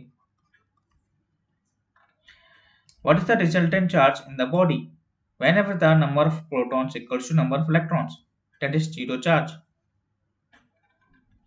plant capacity factor का फॉर्मूला आपसे पूछा गया है which is the average demand to plant capacity सब अच्छे से याद कर लेना है आपको। The prime mover used in thermal power plant is steam power plant sorry steam turbine determine the generated EMF of the given generator और आपको गिवन है आर्मेचर रेजिस्टेंस 0.1 ओम अब आपको दिया है generator E G equals to B plus I R आपका formula होता है। वोल्टेज कितना आपका? Two thirty volt I A क्या होता है आपका? ए आई है ए आई एस एच है और ए है आपका आई एल तो जो आई है वो होगा आपका I S H plus I L ठीक है? तो two thirty plus I S H का फॉर्मूला होता है B upon R S H और लोड करंट आपको पहले से ही गिवन है। पहले उसको पुट करिए। आपका आंसर कितना रहेगा? इतना।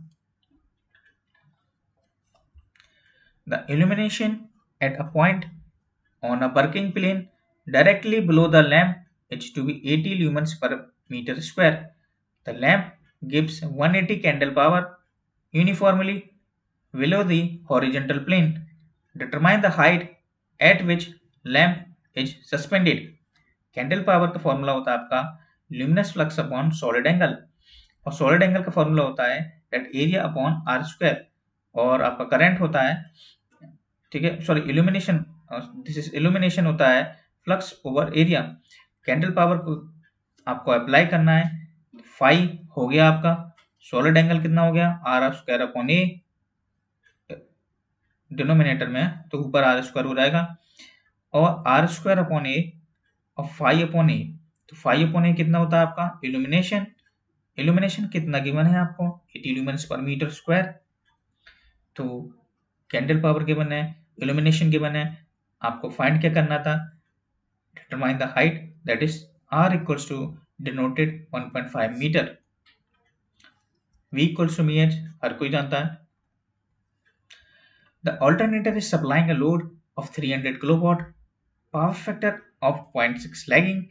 If the power factor is raised to unity how many more kilowatts alternator supply the same KVA loading power given है point six power factor given है. अगर हमने पावर फैक्टर को यूनिटी कर दिया तो कितने किलोवाट और आपको सप्लाई करेगा अल्टरनेटर तो P equals to B I cos phi वहाँ से आप के निकाल लेंगे। दोबारा से अप्लाई करना है यूनिटी पावर फैक्टर के लिए। केवीए आपको सेम केवीए पुट करना है। तो किलोवाट कितना आएगा आपका? 500 किलोवाट तो आप खुद देखिए, पहले था 300 अब है 500 तो मतलब 200 किलोवाट की ज़रूरत और पड़ेगी। दो मैग्नेटिक पोल्स हैं, जो कि पाँच सेंटीमीटर एक दूसरे से अपार्ट रखे हुए हैं। अगर हर एक पोल की स्ट्रेंथ जो है, वो पाँच मिली वेबर आपको गिवन है। Find the force of repulsion between them तो आपका फॉर्मूला आपको याद रखना है। ठीक है, निकल के इधर से आता है। लेकिन F equals to magnetic field strength upon four pi mu D square formula होता है। सारी वैल्यूज़ आपको गिवन है। Magnetic field strength at a point distance r meters from a pole edge. That is the b equals to inversely proportional to that distance r square. If the no load voltage of a three phase 440 volt 50 hertz alternator is 495 volt find the voltage regulation voltage regulation का formula क्या होता है? No load minus rated voltage upon rated voltage.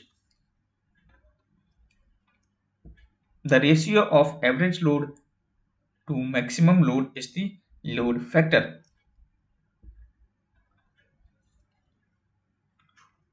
Absolute permittivity सभी लोग जानते हैं। Permeability. Calculate the flux density at a distance of 5 centimetre. From a long straight circular conductor carrying current of 250 ampere and placed in air. B equal to mu H सभी लोग जानते हैं। H equal to I upon two pi R होता है। तो mu naught into I upon two into pi into R values को put कर दिए। आपका आंसर आएगा ten to the power minus three weber per metre square ये तो आंसर आपको रटा होना चाहिए। Q curse to I T one coulomb of charge के लिए six twenty five two ten to power sixteen determine the supply current in the given network. Take the voltage drop during the forward bias condition, which is 0.3 volt. आप देख सकते हैं जब आप forward bias forward biasing आप जब आप apply करेंगे तो ये कैसा आपका? रिवर्स में है तो ये तो ऑन होगा नहीं। ऑन कौन सा होगा? ये वाला। ये क्या हो जाएगा आपका? ओपन सर्किट आप देख सकते हैं। तो करंट क्या आएगा? आपका बी अपॉन आर ट्वेल्व और इसका वोल्टेज कितना के बने पॉइंट थ्री वोल्ट अपॉन ये सीरीज़ में resistance six eleven point seven upon six volt ampere determine the current X comma Y ठीक है? अब इसके कई सारी तरीके हैं। मैंने देखिए इससे कराए। सबसे पहले आप आर इक्विवेलेंट निकाल लीजिए। और जो भी सोर्सेस दिए हैं, उनके, उनको इंटरनल इम्पिडेंस से रिप्लेस कर दीजिए। ये निकल के आ जाएगा thirty two upon three voltage source आपके बोलेंगे शॉर्ट आपका बी अपॉन आर ठीक है? Which is nine upon eight ampere X plus Y क्या है? थर्टीन अपॉन एट के बने ऑप्शन में एक माइनस थ्री अपॉन फोर के बने इन दोनों को आप सॉल्व करिए। Thirteen upon eight minus three upon four ये आपके आएँगे नाइन अपॉन एट और आपने टोटल करंट भी कितना निकाला है? नाइन अपॉन एट तो आपका आंसर कितना हो गया? थर्टीन अपॉन एट और minus three upon four per phase mechanical power का फॉर्मूला होता है E B upon X sine delta यानी और sine alpha the algebraic sum ये सभी लोग जानते हैं this is about KCL which is the zero In alternators, the ratio of vector sum of induced EMF per coil to the arithmetic sum of the induced EMF per coil is the pitch factor. और pitch factor का formula ये भी होता है EMF generated in short pitch coil upon EMF generated in full pitch coil. Sine waveform produces the least disturbance or smooth smoothest and the efficient waveform. Next question है कि एक ammeter है the deflecting torque is proportional to the current passing through it and the instrument has full scale deflection of 80 degree for a current of 5 ampere. What deflection will occur for the current of 2.5 ampere? आप formula अच्छे से जानते हैं।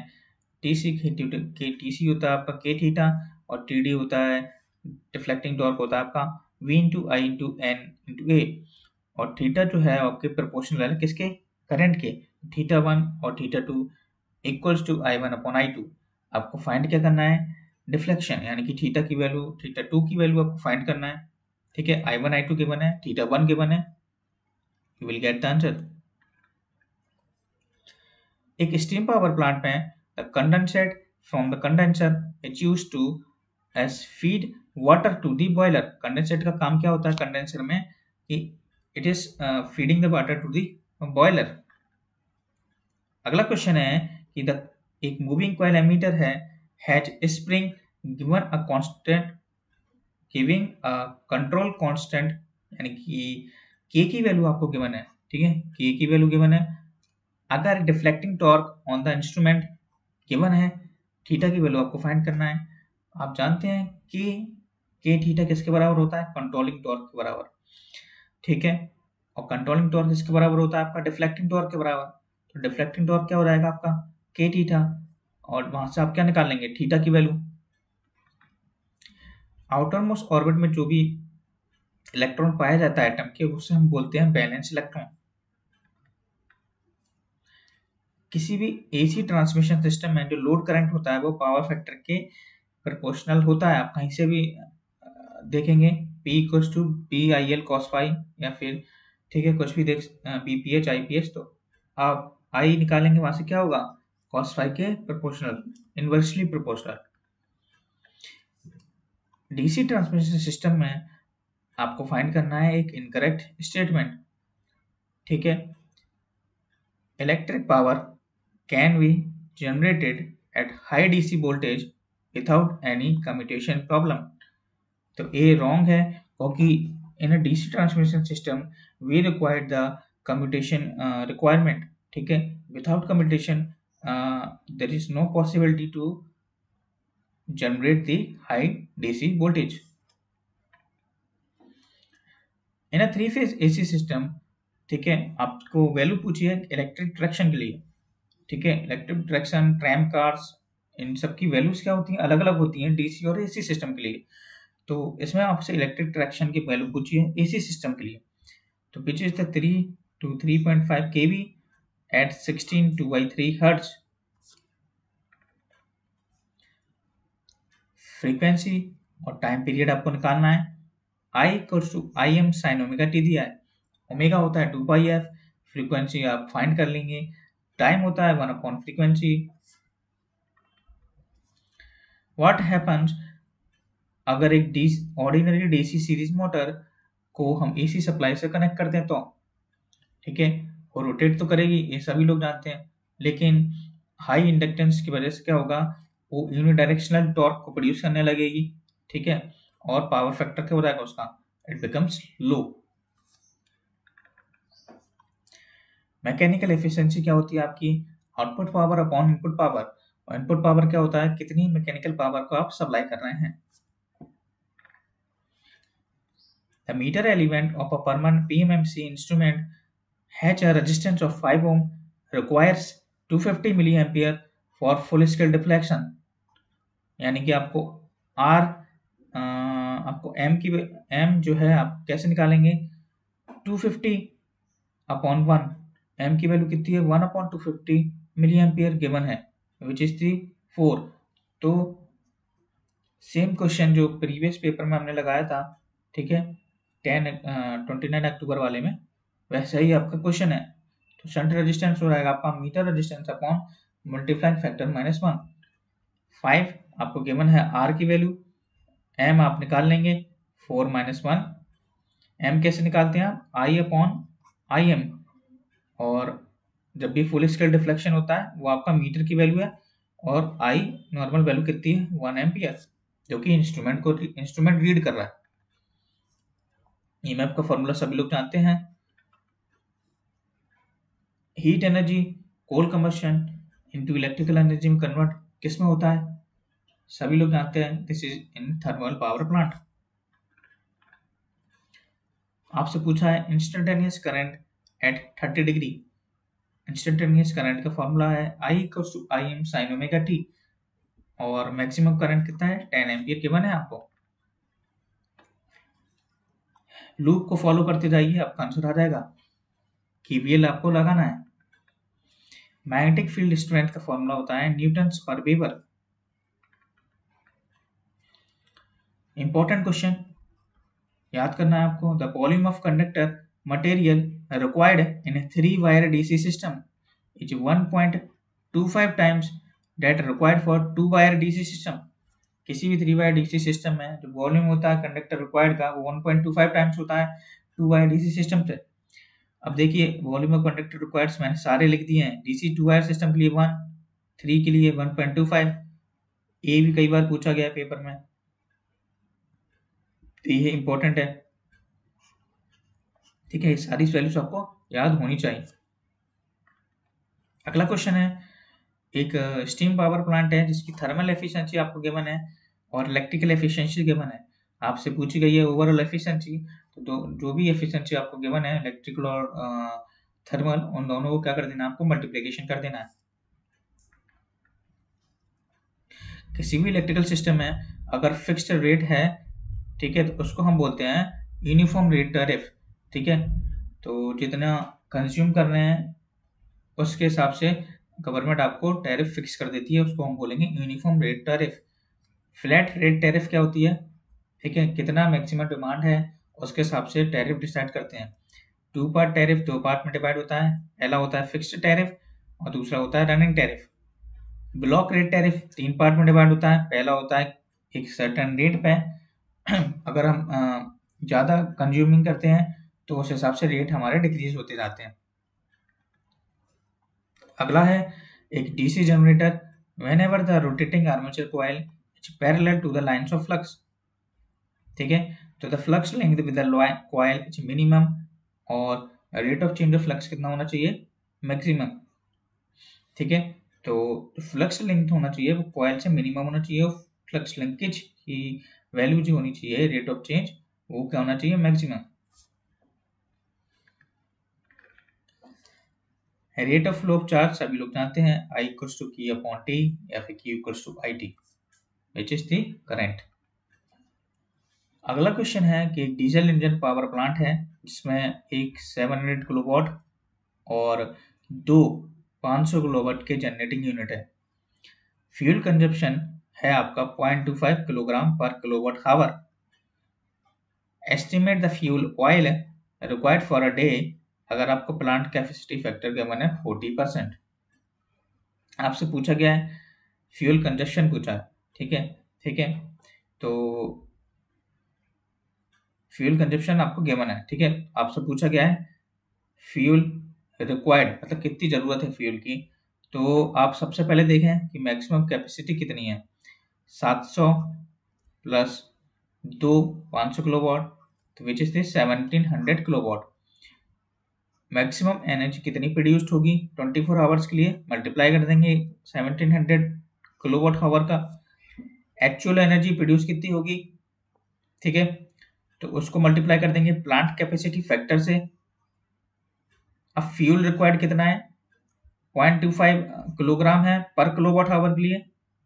तो इतने kilowatt hour के लिए कितना होगा? पॉइंट टू फाइव से मल्टीप्लाई कर देना है। Four zero eight zero kilogram आपका आंसर आ जाएगा। ये भी आपके प्रीवियस पेपर में था सेम क्वेश्चन है। High voltage for transmitting power is economical available for AC current ये क्वेश्चन आपका लिया गया है एसी और डीसी के एडवांटेजेस से। तो जब भी हम हाई ट्रेवलिंग ट्रांसमिटिंग पावर के लिए बात करते हैं तो एसी हमारे लिए इकोनॉमिकल है, ना कि DC DC requires high costly equipments for that purpose अगला क्वेश्चन है कि which of the following motors is operated on DC और एसी आप सभी लोग जानते हैं that is the universal motor next question आपको दिख रहा होगा कि एक ऑल्टरनेटर है and open circuit generates at 360 volt at 60 hertz when the field current is 3.6 ampere neglecting saturation determine the open circuit emf when the frequency is 40 hertz और field current is 2.4 ampere आप सभी लोग EMF का formula जानते हैं विच is the 4.445 FMFV तो मतलब हमारा जो ईएमएफ है वो प्रोपोर्शनल है फ्लक्स और फ्रीक्वेंसी के। और हम सब लोग जानते हैं फ्लक्स क्या होता है? एक फ्लक्स हमारा करंट है, ठीक है? जो कि हम बोल सकते हैं फ़ील्ड करंट तो फ्लक्स अगर हम सेचुरेशन को निगलेक्ट कर दें तो फ्लक्स हमारा क्या हो जाएगा? फ़ील्ड करंट ही तो होगा। तो E one upon E two equals to five one F one upon five two F two और हम इसको लिख सकते हैं I one F one upon I two F two I one की वैल्यू गिवन है आई टू की वैल्यू गिवन है। ठीक है? फ्रीक्वेंसी सिक्सटी दी है आपको और फोर्टी भी दिया ई टू आपको निकल जाएगा। Next question is I equals to I M sine omega T given है।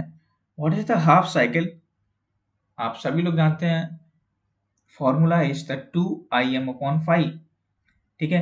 Two I M upon five क्या होगा? आपका average value of half cycle और फुल साइकिल के लिए आपको एवरेज वैल्यू क्या होगी? Zero that is zero next is a consumer has a maximum demand of 200 kilowatt at 40% load factor. If the tariff is 200 per kilowatt of maximum demand plus 10 पैसे पर kilowatt hour fine the annual charges अभी हमने ऐसा question किया, ठीक है? Energy consume हम निकाल लेंगे। निकाल लेंगे आप? कैसे निकालेंगे? Power cost load factor into that unit at seven six zero annual fix charge क्या होगा? Two hundred into that maximum demand, which is 40000 running charge कितना आपका? टेन पैसे पर किलोवाट आवर के लिए। एनर्जी कंज्यूम कितना था? पॉइंट वन से मल्टीप्लाई कर देंगे। टोटल कितना निकल के आएगा? एनुअल फिक्स चार्ज कैसे निकाला हमने? जो 200 है फिक्स प्राइस मैक्सिमम डिमांड से मल्टीप्लाई कर दिया। रनिंग चार्ज कैसे निकाला? टेन पैसे पर किलोवाट आवर के लिए निकालना था। एनर्जी कंज्यूम हम निकाल चुके थे, उससे मल्टीप्लाई कर दिया। टोटल कैसे निकलेगा? दोनों को एडिशन कर देंगे। तो we will get the answer ये वैल्यूज़ आपको याद है? सारी वैल्यूज़ याद होनी चाहिए मीडियम ट्रांसमिशन लाइन्स के लिए। इनकरेक्ट स्टेटमेंट आपसे पूछा गया है। With respect to high transmission voltage, select the incorrect statement. तो ये सभी लोग जानते हैं कि ट्रांसफार्मर का कॉस्ट क्या होगा? इंक्रीज करेगा स्विच गियर का इंक्रीज करेगा। ठीक है, और भी ऑपरेटर्स और इक्विपमेंट्स के प्राइस जो है इंक्रीज कर जाएँगे। नेक्स्ट है एक single phase 250 fifty by three thousand volt transformer है। उसका ईएमएफ पर टन आपको गिवन है। लो वोल्टेज करंट गिवन है। आपको फाइंड करना है। हाई वोल्टेज और low voltage side turns and power rating of the transformer. Power rating find करने के लिए आप क्या करेंगे? ईएमएफ uh, जो है आपका लो वोल्टेज का जो वोल्टेज है इनटू लो वोल्टेज का करंट तो लो वोल्टेज आपको कितना के बना है? 250 ठीक है? और लो वोल्टेज का करंट कितना है आपका? 400 तो आपका कितना आंसर आ रहेगा 100 के अब आपको फाइंड करना है लो वोल्टेज टर्न और high voltage turn low voltage turn क्या करेंगे आप? जो आपका वोल्टेज है अपॉन ईएमएफ पर टर्न से उसको डिवाइड कर देना है। तो लो वोल्टेज टर्न आपका 250 दिया है तो 250 डिवाइडेड बाई एट हो जाएगा विच इज़ 32 और हाई वोल्टेज में क्या हो जाएगा? 3000 हाई वोल्टेज साइड का आपका वोल्टेज है upon EMF per turn which is the eight that is equals to 375 next question में हम देख रहे हैं कि एक इलेक्ट्रिक मोटर है जो कि ऑपरेट कर रही है at full load of 100 kilowatt ठीक है? 10 मिनट के लिए 100 किलोवाट ऑपरेट कर रही है। उसके हाफ़ लोड के लिए नेक्स्ट 20 मिनट के लिए अपलोड ऑपरेट कर रही है और नेक्स्ट ट्वेंटी मिनट के लिए नो लोड पे ऑपरेट कर रही है। और ये साइकिल बार बार कंटिन्यूसली रिपीट कर रहे हैं। तो आपसे पूछी गई है कंटिन्यूस रेटिंग तो कंटिन्यूस रेटिंग का फॉर्मूला होता है, ठीक है? दस मिनट के लिए पी स्क्वायर हाफ़ लोड यानी कि हंड्रेड का हाफ़ कितना हो गया? फिफ्टी इंटू बीस मिनट के लिए और नो लोड क्या हो गया? Zero into twenty upon total time कितना है? Ten plus twenty plus twenty which is equals to under root of three thousand ये हमारा रेटिंग निकालने का फॉर्मूला है। रेटिंग बोल दीजिए ठीक है? तो रेटिंग निकालने का फॉर्मूला आप सीख गए। जो भी दिया है आपको पावर उसका अंडरस्कोर में multiplication with the time upon total time power आप जानते क्या होता है? ठीक है? एनर्जी अपॉन टाइम आपसे पूछा गया है क्वेश्चन में प्राइमरी ट्रांसमिशन विच इज़ थी 132 केवी इनमें से कौन सा जो है एलिमेंट्स जो कि 12 वोल्ट की पावर को कंज्यूम कर रहा है ठीक है? तो देख सकते हैं आप जब भी प्लस से करंट बाहर की तरफ़ जाएगी तो वो क्या करेगा आपको? आ, कोई भी दूसरा लोड जो है वो उसको कंज्यूम करेगा। तो four into three A option देखिए और लास्ट का डी देखिए। ये प्लस को क्या कर रहा है? करंट क्या कर रहा है? लीव कर रहा है ठीक है? बाकी ये क्या कर रहा है? एब्जॉर्ब कर रहा है ये भी क्या कर रहा है? ये दोनों बी और सी एब्जॉर्ब कर रहे हैं।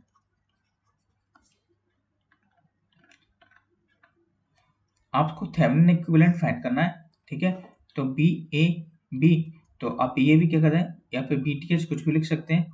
आप नोडल एनालिसिस इधर अप्लाई कर देंगे, ठीक है? तो नोडल क्या होगा? B T H minus hundred upon ten plus B T H upon ten तो बी ए बी और बी टी एच फिफ्टी आ जाएगा और आर टी एच कैसे निकालते हैं? इंटरनल इम्पिडेंस से रिप्लेस कर दो तो ये क्या हो जाएगा आपका? शॉर्ट ये क्या हो गया आपका? शॉर्ट तो जब जैसे ही आपका शॉर्ट हो जाएगा तो टेन ओम क्या हो जाएगा? टेन ओम के पैरेलल और प्लस ठीक है? प्लस क्या हो जाएगा? Five that is fifteen okay next question sorry the current in the starting winding of capacitor start induction motor ठीक है? तो क्या होगा? जो करंट होता है आपका स्टार्टिंग वाइंडिंग में ठीक है? वो क्या होता है? कैपेसिटर स्टार्ट इंडक्शन मोटर में ज़्यादा होता है मेन वाइंडिंग से ठीक है? It's leading with respect to the voltage of the main winding ठीक है? बिकॉज़ हम स्टार्टिंग वाइंडिंग का यूज़ ही क्यों कर रहे हैं? ठीक है? For the starting purpose so we have to require the current in leading with respect to main winding. Next is during the forward bias condition in the diode, the ratio of power dissipated in it, forward DC current is known as, that is, forward voltage drop. Forward voltage drop क्या हो जाएगा? Ratio of power upon forward DC current आप English पढ़ते जाइए और उसका Hindi meaning निकालिए। आपका आंसर आसानी से निकल के आ जाते हैं, जो कि आपकी, आपके सीधे सीधे जो लिखे रहते हैं, ठीक है? Next question the principle of hot wire instrument ठीक है? तो हॉट वायर इंस्ट्रूमेंट का आपका ऑपरेशन क्या होता है? Which is thermal effect a quantity which requires, which, sorry, a quantity which changes its polarity at regular intervals of time. हम सभी लोग जानते हैं that is the alternating quantity और AC क्वांटिटी डीसी क्या होता है आपका? कांस्टेंट रहता है। क्रैश स्पीड को क्या कहते हैं? क्रैश स्पीड वो स्पीड होती है। जो कि आपकी मैक्सिमम स्पीड होती है। ठीक है क्रेस्ट ट्रफ आप क्रेस्ट मतलब ही क्या होता है? मैक्सिमम तो तो maximum speed attended by the train during the running time आपसे बोल, कुछ पूछा गया है डिस्ट्रीब्यूशन फैक्टर का वैल्यू और डिस्ट्रीब्यूशन फैक्टर का फॉर्मूला होता है sine M beta point two M sine beta point two और एम जो होता है, वो होता है आपका स्लॉट्स पर फोल पर फेस, ठीक है? एम आ गया आपका, स्लॉट्स पर पोल पर फेस। बीटा क्या होता है? 180 डिग्री अपॉन स्लॉट्स पर पोल। तो आप केवल वैल्यूज़ को पुट करना है। एम की वैल्यू क्या है आपकी? स्लॉट्स पर पोल पर फेस, जो कि आपकी थ्री आई है। और बीटा क्या आया आपका? 180 degree upon 36 upon 4 which is 20 degree so you have to put the volume, value only, okay? You will get sine 30 degree upon 3 sine 10 degree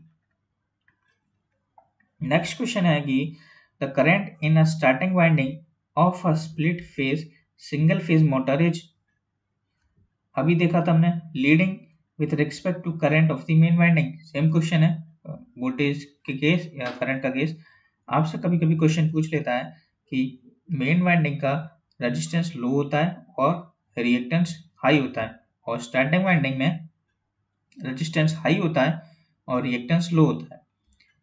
okay next question है कि what is the relation between absolute permittivity absolute permeability relative permeability and susceptibility के so mu naught, mu r equals to mu naught plus K. ये हम सभी जानते हैं। Simple formula तो वैसे ही होता है। Mu R equals to one plus K but mu naught mu R equals to mu naught one plus K upon mu naught instead of formula अब इसको when we open that formula we will get the mu R equals to one plus K next is a motor generator set used for providing variable frequency AC supply consists of a three-phase 10-pole synchronous motor and a 24-pole three-phase synchronous generator. ये क्या है आपका motor generator set के बने जिसमें 10 पोल आपके synchronous motor के हैं 24 पोल आपके थ्री फ़ेज़ सिंक्रोनस जनरेटर के हैं। It is fed from a 25 hertz three phase AC supply determine the frequency of the generated voltage of this synchronous generator.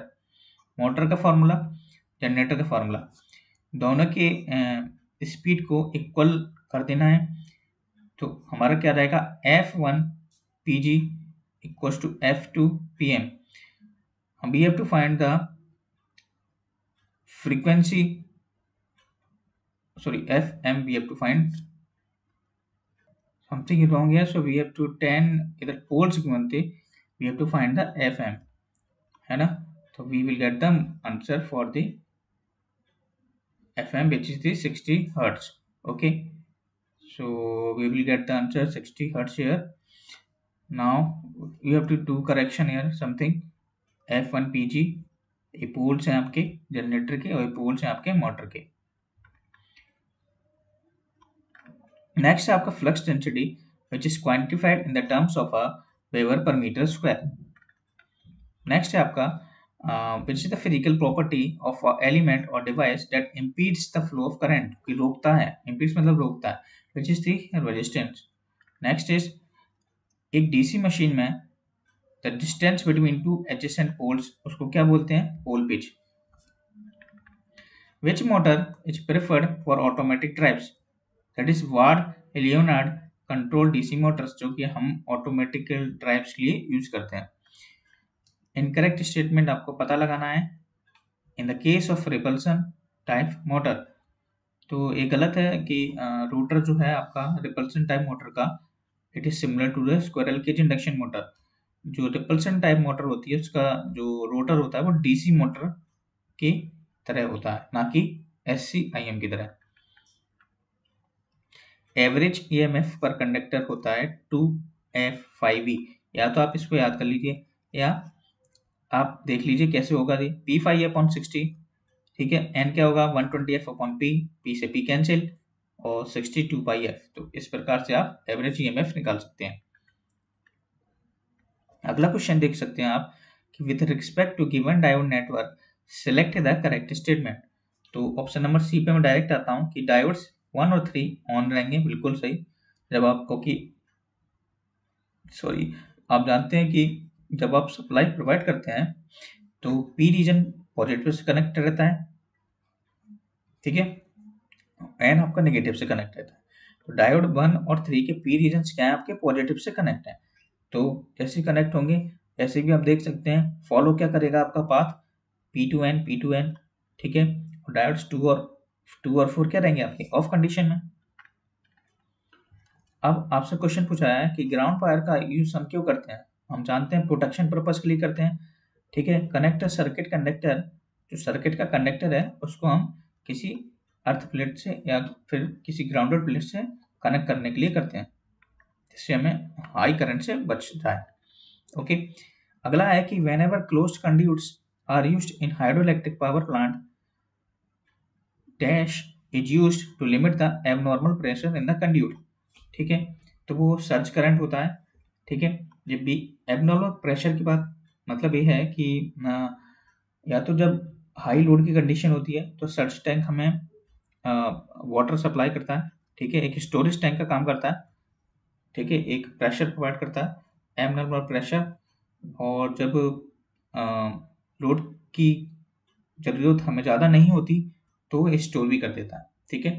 तो एक प्रकार का एक स्टोरेज टैंक है सर्च टैंक हमारा। अगला क्वेश्चन आपका है what is the mathematical expression for a 50 hertz sinusoidal voltage of a peak value of 100 volt हम जानते हैं V इक्वल्स टू क्या होता है? V M sine omega T V M क्या है हमारा? Fifty hertz sorry fifty hertz पे हंड्रेड वोल्ट दिया है तो हंड्रेड बी एम है हमारा, और ओमेगा क्या है? Two pi F, hundred sine, hundred pi T. Electrical instruments which directly indicate the value of electrical quantity at a time when it is being measured are called तो उसको हम बोलते हैं इंडिकेटिंग इंस्ट्रूमेंट्स जब भी, देखिए, इस क्वेश्चन कई बार आ चुका है तो जब भी इंडिकेट आपको ऑप्शन में दिखाई दे तो इंडिकेटिंग इंस्ट्रूमेंट आपको लगा देना है। फॉर्मूला है, ठीक है? ए बी फॉर्मूला ठीक है? अगला हाँ अगला क्वेश्चन यह है कि which of the following logical operations could be computed for the given network ऐसे क्वेश्चन को आप कैसे सोल्व करते हैं कि आप वैल्यूज़ को पुट कर दीजिए। या तो zero zero zero one one zero one one को आप जब आप पुट करेंगे और आपको आउटपुट चेक करना है। आउटपुट जैसे आप चेक करेंगे, आपको पता लग जाएगा ये कौन सा गेट है। तो इसको देखिए। ज़ीरो ज़ीरो पे कोई भी आउटपुट नहीं देगा। जैसे ही ज़ीरो वन होगा, ठीक है, मान लीजिए मैंने ज़ीरो वन दिया तो क्या हो जाएगा? ऑन हो जाएगा, ठीक है, वन ज़ीरो दिया तो फिर ये ऑन हो जाएगा, वन वन पे भी ऑन हो जाएगा। ठीक है तो इस प्रकार ये ऑन हो जाता है। तो ज़ीरो वन वन वन तो एक किसको रिप्रेजेंट कर रहा है? और गेट को। नेक्स्ट क्वेश्चन है आपका। आपको रेजिस्टेंस आर की वैल्यू फाइंड करना है। आर का है आपका? एरा ठीक है? If the voltage at the node B is five volt इसके अक्रॉस वोल्टेज कितना आपका? फाइव वोल्ट तो नोडल एनालिसिस को आप अप्लाई करेंगे। दो इक्वेशन आपकी बनेंगी। ठीक है? जैसी आपकी इक्वेशन बन जाएँगी, आपका आंसर मिल जाएगा। नोडल एनालिसिस मैंने इधर लगा दिया है। ठीक है? प्रीवियस तीन चार क्वेश्चन हम देख चुके हैं। नोडल एनालिसिस आपको लगाना आता होगा। बेसिक्स बेसिक है आपका। ठीक है? तो आर की वैल्यू कितनी आएगी आपकी? Five ohm determine the logical application of the given circuit आप देख सकते हैं क्या है? आपके एंड गेट एंड गेट में क्या होता है आपके? जो इनपुट होते हैं, उनका मल्टीप्लिकेशन हो जाता है। A into B into B into C into B into C into D अगला क्वेश्चन देख सकते हैं आप। एक डीजल पावर स्टेशन है, जिसका फ्यूल कंजप्शन दिया है आपको point two five two one five kilogram per kilowatt hour calorific value की वैल्यू भी आपको गिवन है, जो कि है ten thousand kilo calorie per kilogram आपसे पूछा क्या है? ओवरऑल एफिशिएंसी आपको ध्यान क्या रखना है इसमें कि एक कैलोरी की वैल्यू होती है four point one eight joule ठीक है? और एफिशिएंसी का फॉर्मूला होता है हंड्रेड अपॉन ठीक है? Hundred upon fuel consumption per kilowatt hour into calorific value अब कैलोरीफिक वैल्यू कैसे निकालेंगे? फोर पॉइंट वन एट दस हज़ार के लिए, ठीक है? तो four point one eight into ten to the power seven कर देंगे। आपको वैल्यूज़ पुट करेंगे तो फोर्टी परसेंट आ गया, ठीक है? वैल्यूज़ कैसे पुट करना है? हंड्रेड आपको गिवन था, ठीक है? और, किसी भी किलोवाट हावर के लिए जब निकालते हैं तो एनर्जी क्या रहती है? Thirty six hundred kilowatt hour और पॉइंट टू वन फाइव आपका क्या दिया? है एम और कैलोरिफिक वैल्यू कितनी है? Four point one eight into ten to the power seven देखिए सेम रिपीट क्वेश्चन है। आपको फाइंड क्या करना है? ईजी e ईजी e की वैल्यू कैसे फाइंड करेंगे? I A B plus I A R A plus R S H और आई ए क्या होता है? I L plus I S H ठीक है? और आई एस एच की वैल्यू कितनी है आपकी? टू एम्पियर इसमें देखिए वैल्यूज़ डायरेक्ट के बना है two ampere I S H दिया है और I L fifty fifty ampere दिया है। तो आपका आई ए कितना हो जाएगा? 52 एम्पियर एक 60 वोल्ट बल्ब है, जिसका करंट दिया आपको point 0.5 ampere flowing through it calculate the number of electrons बहुत सिंपल है। Q equals to N E equals to I T find क्या करना है? एन की वैल्यू एक लीनियर वेरिएबल डिफरेंशियल ट्रांसड्यूसर है, जो कि प्रोड्यूस करता है एक output voltage of 2.6 volt displacement आपको गिवन है सेंसिटिविटी आपको फाइंड करना है। सेंसिटिविटी का फॉर्मूला होता है output voltage upon displacement value आपको गिवन है वैल्यूज़ को पुट करिए सेंसिटिविटी आपकी निकल जाएगी। Output voltage upon displacement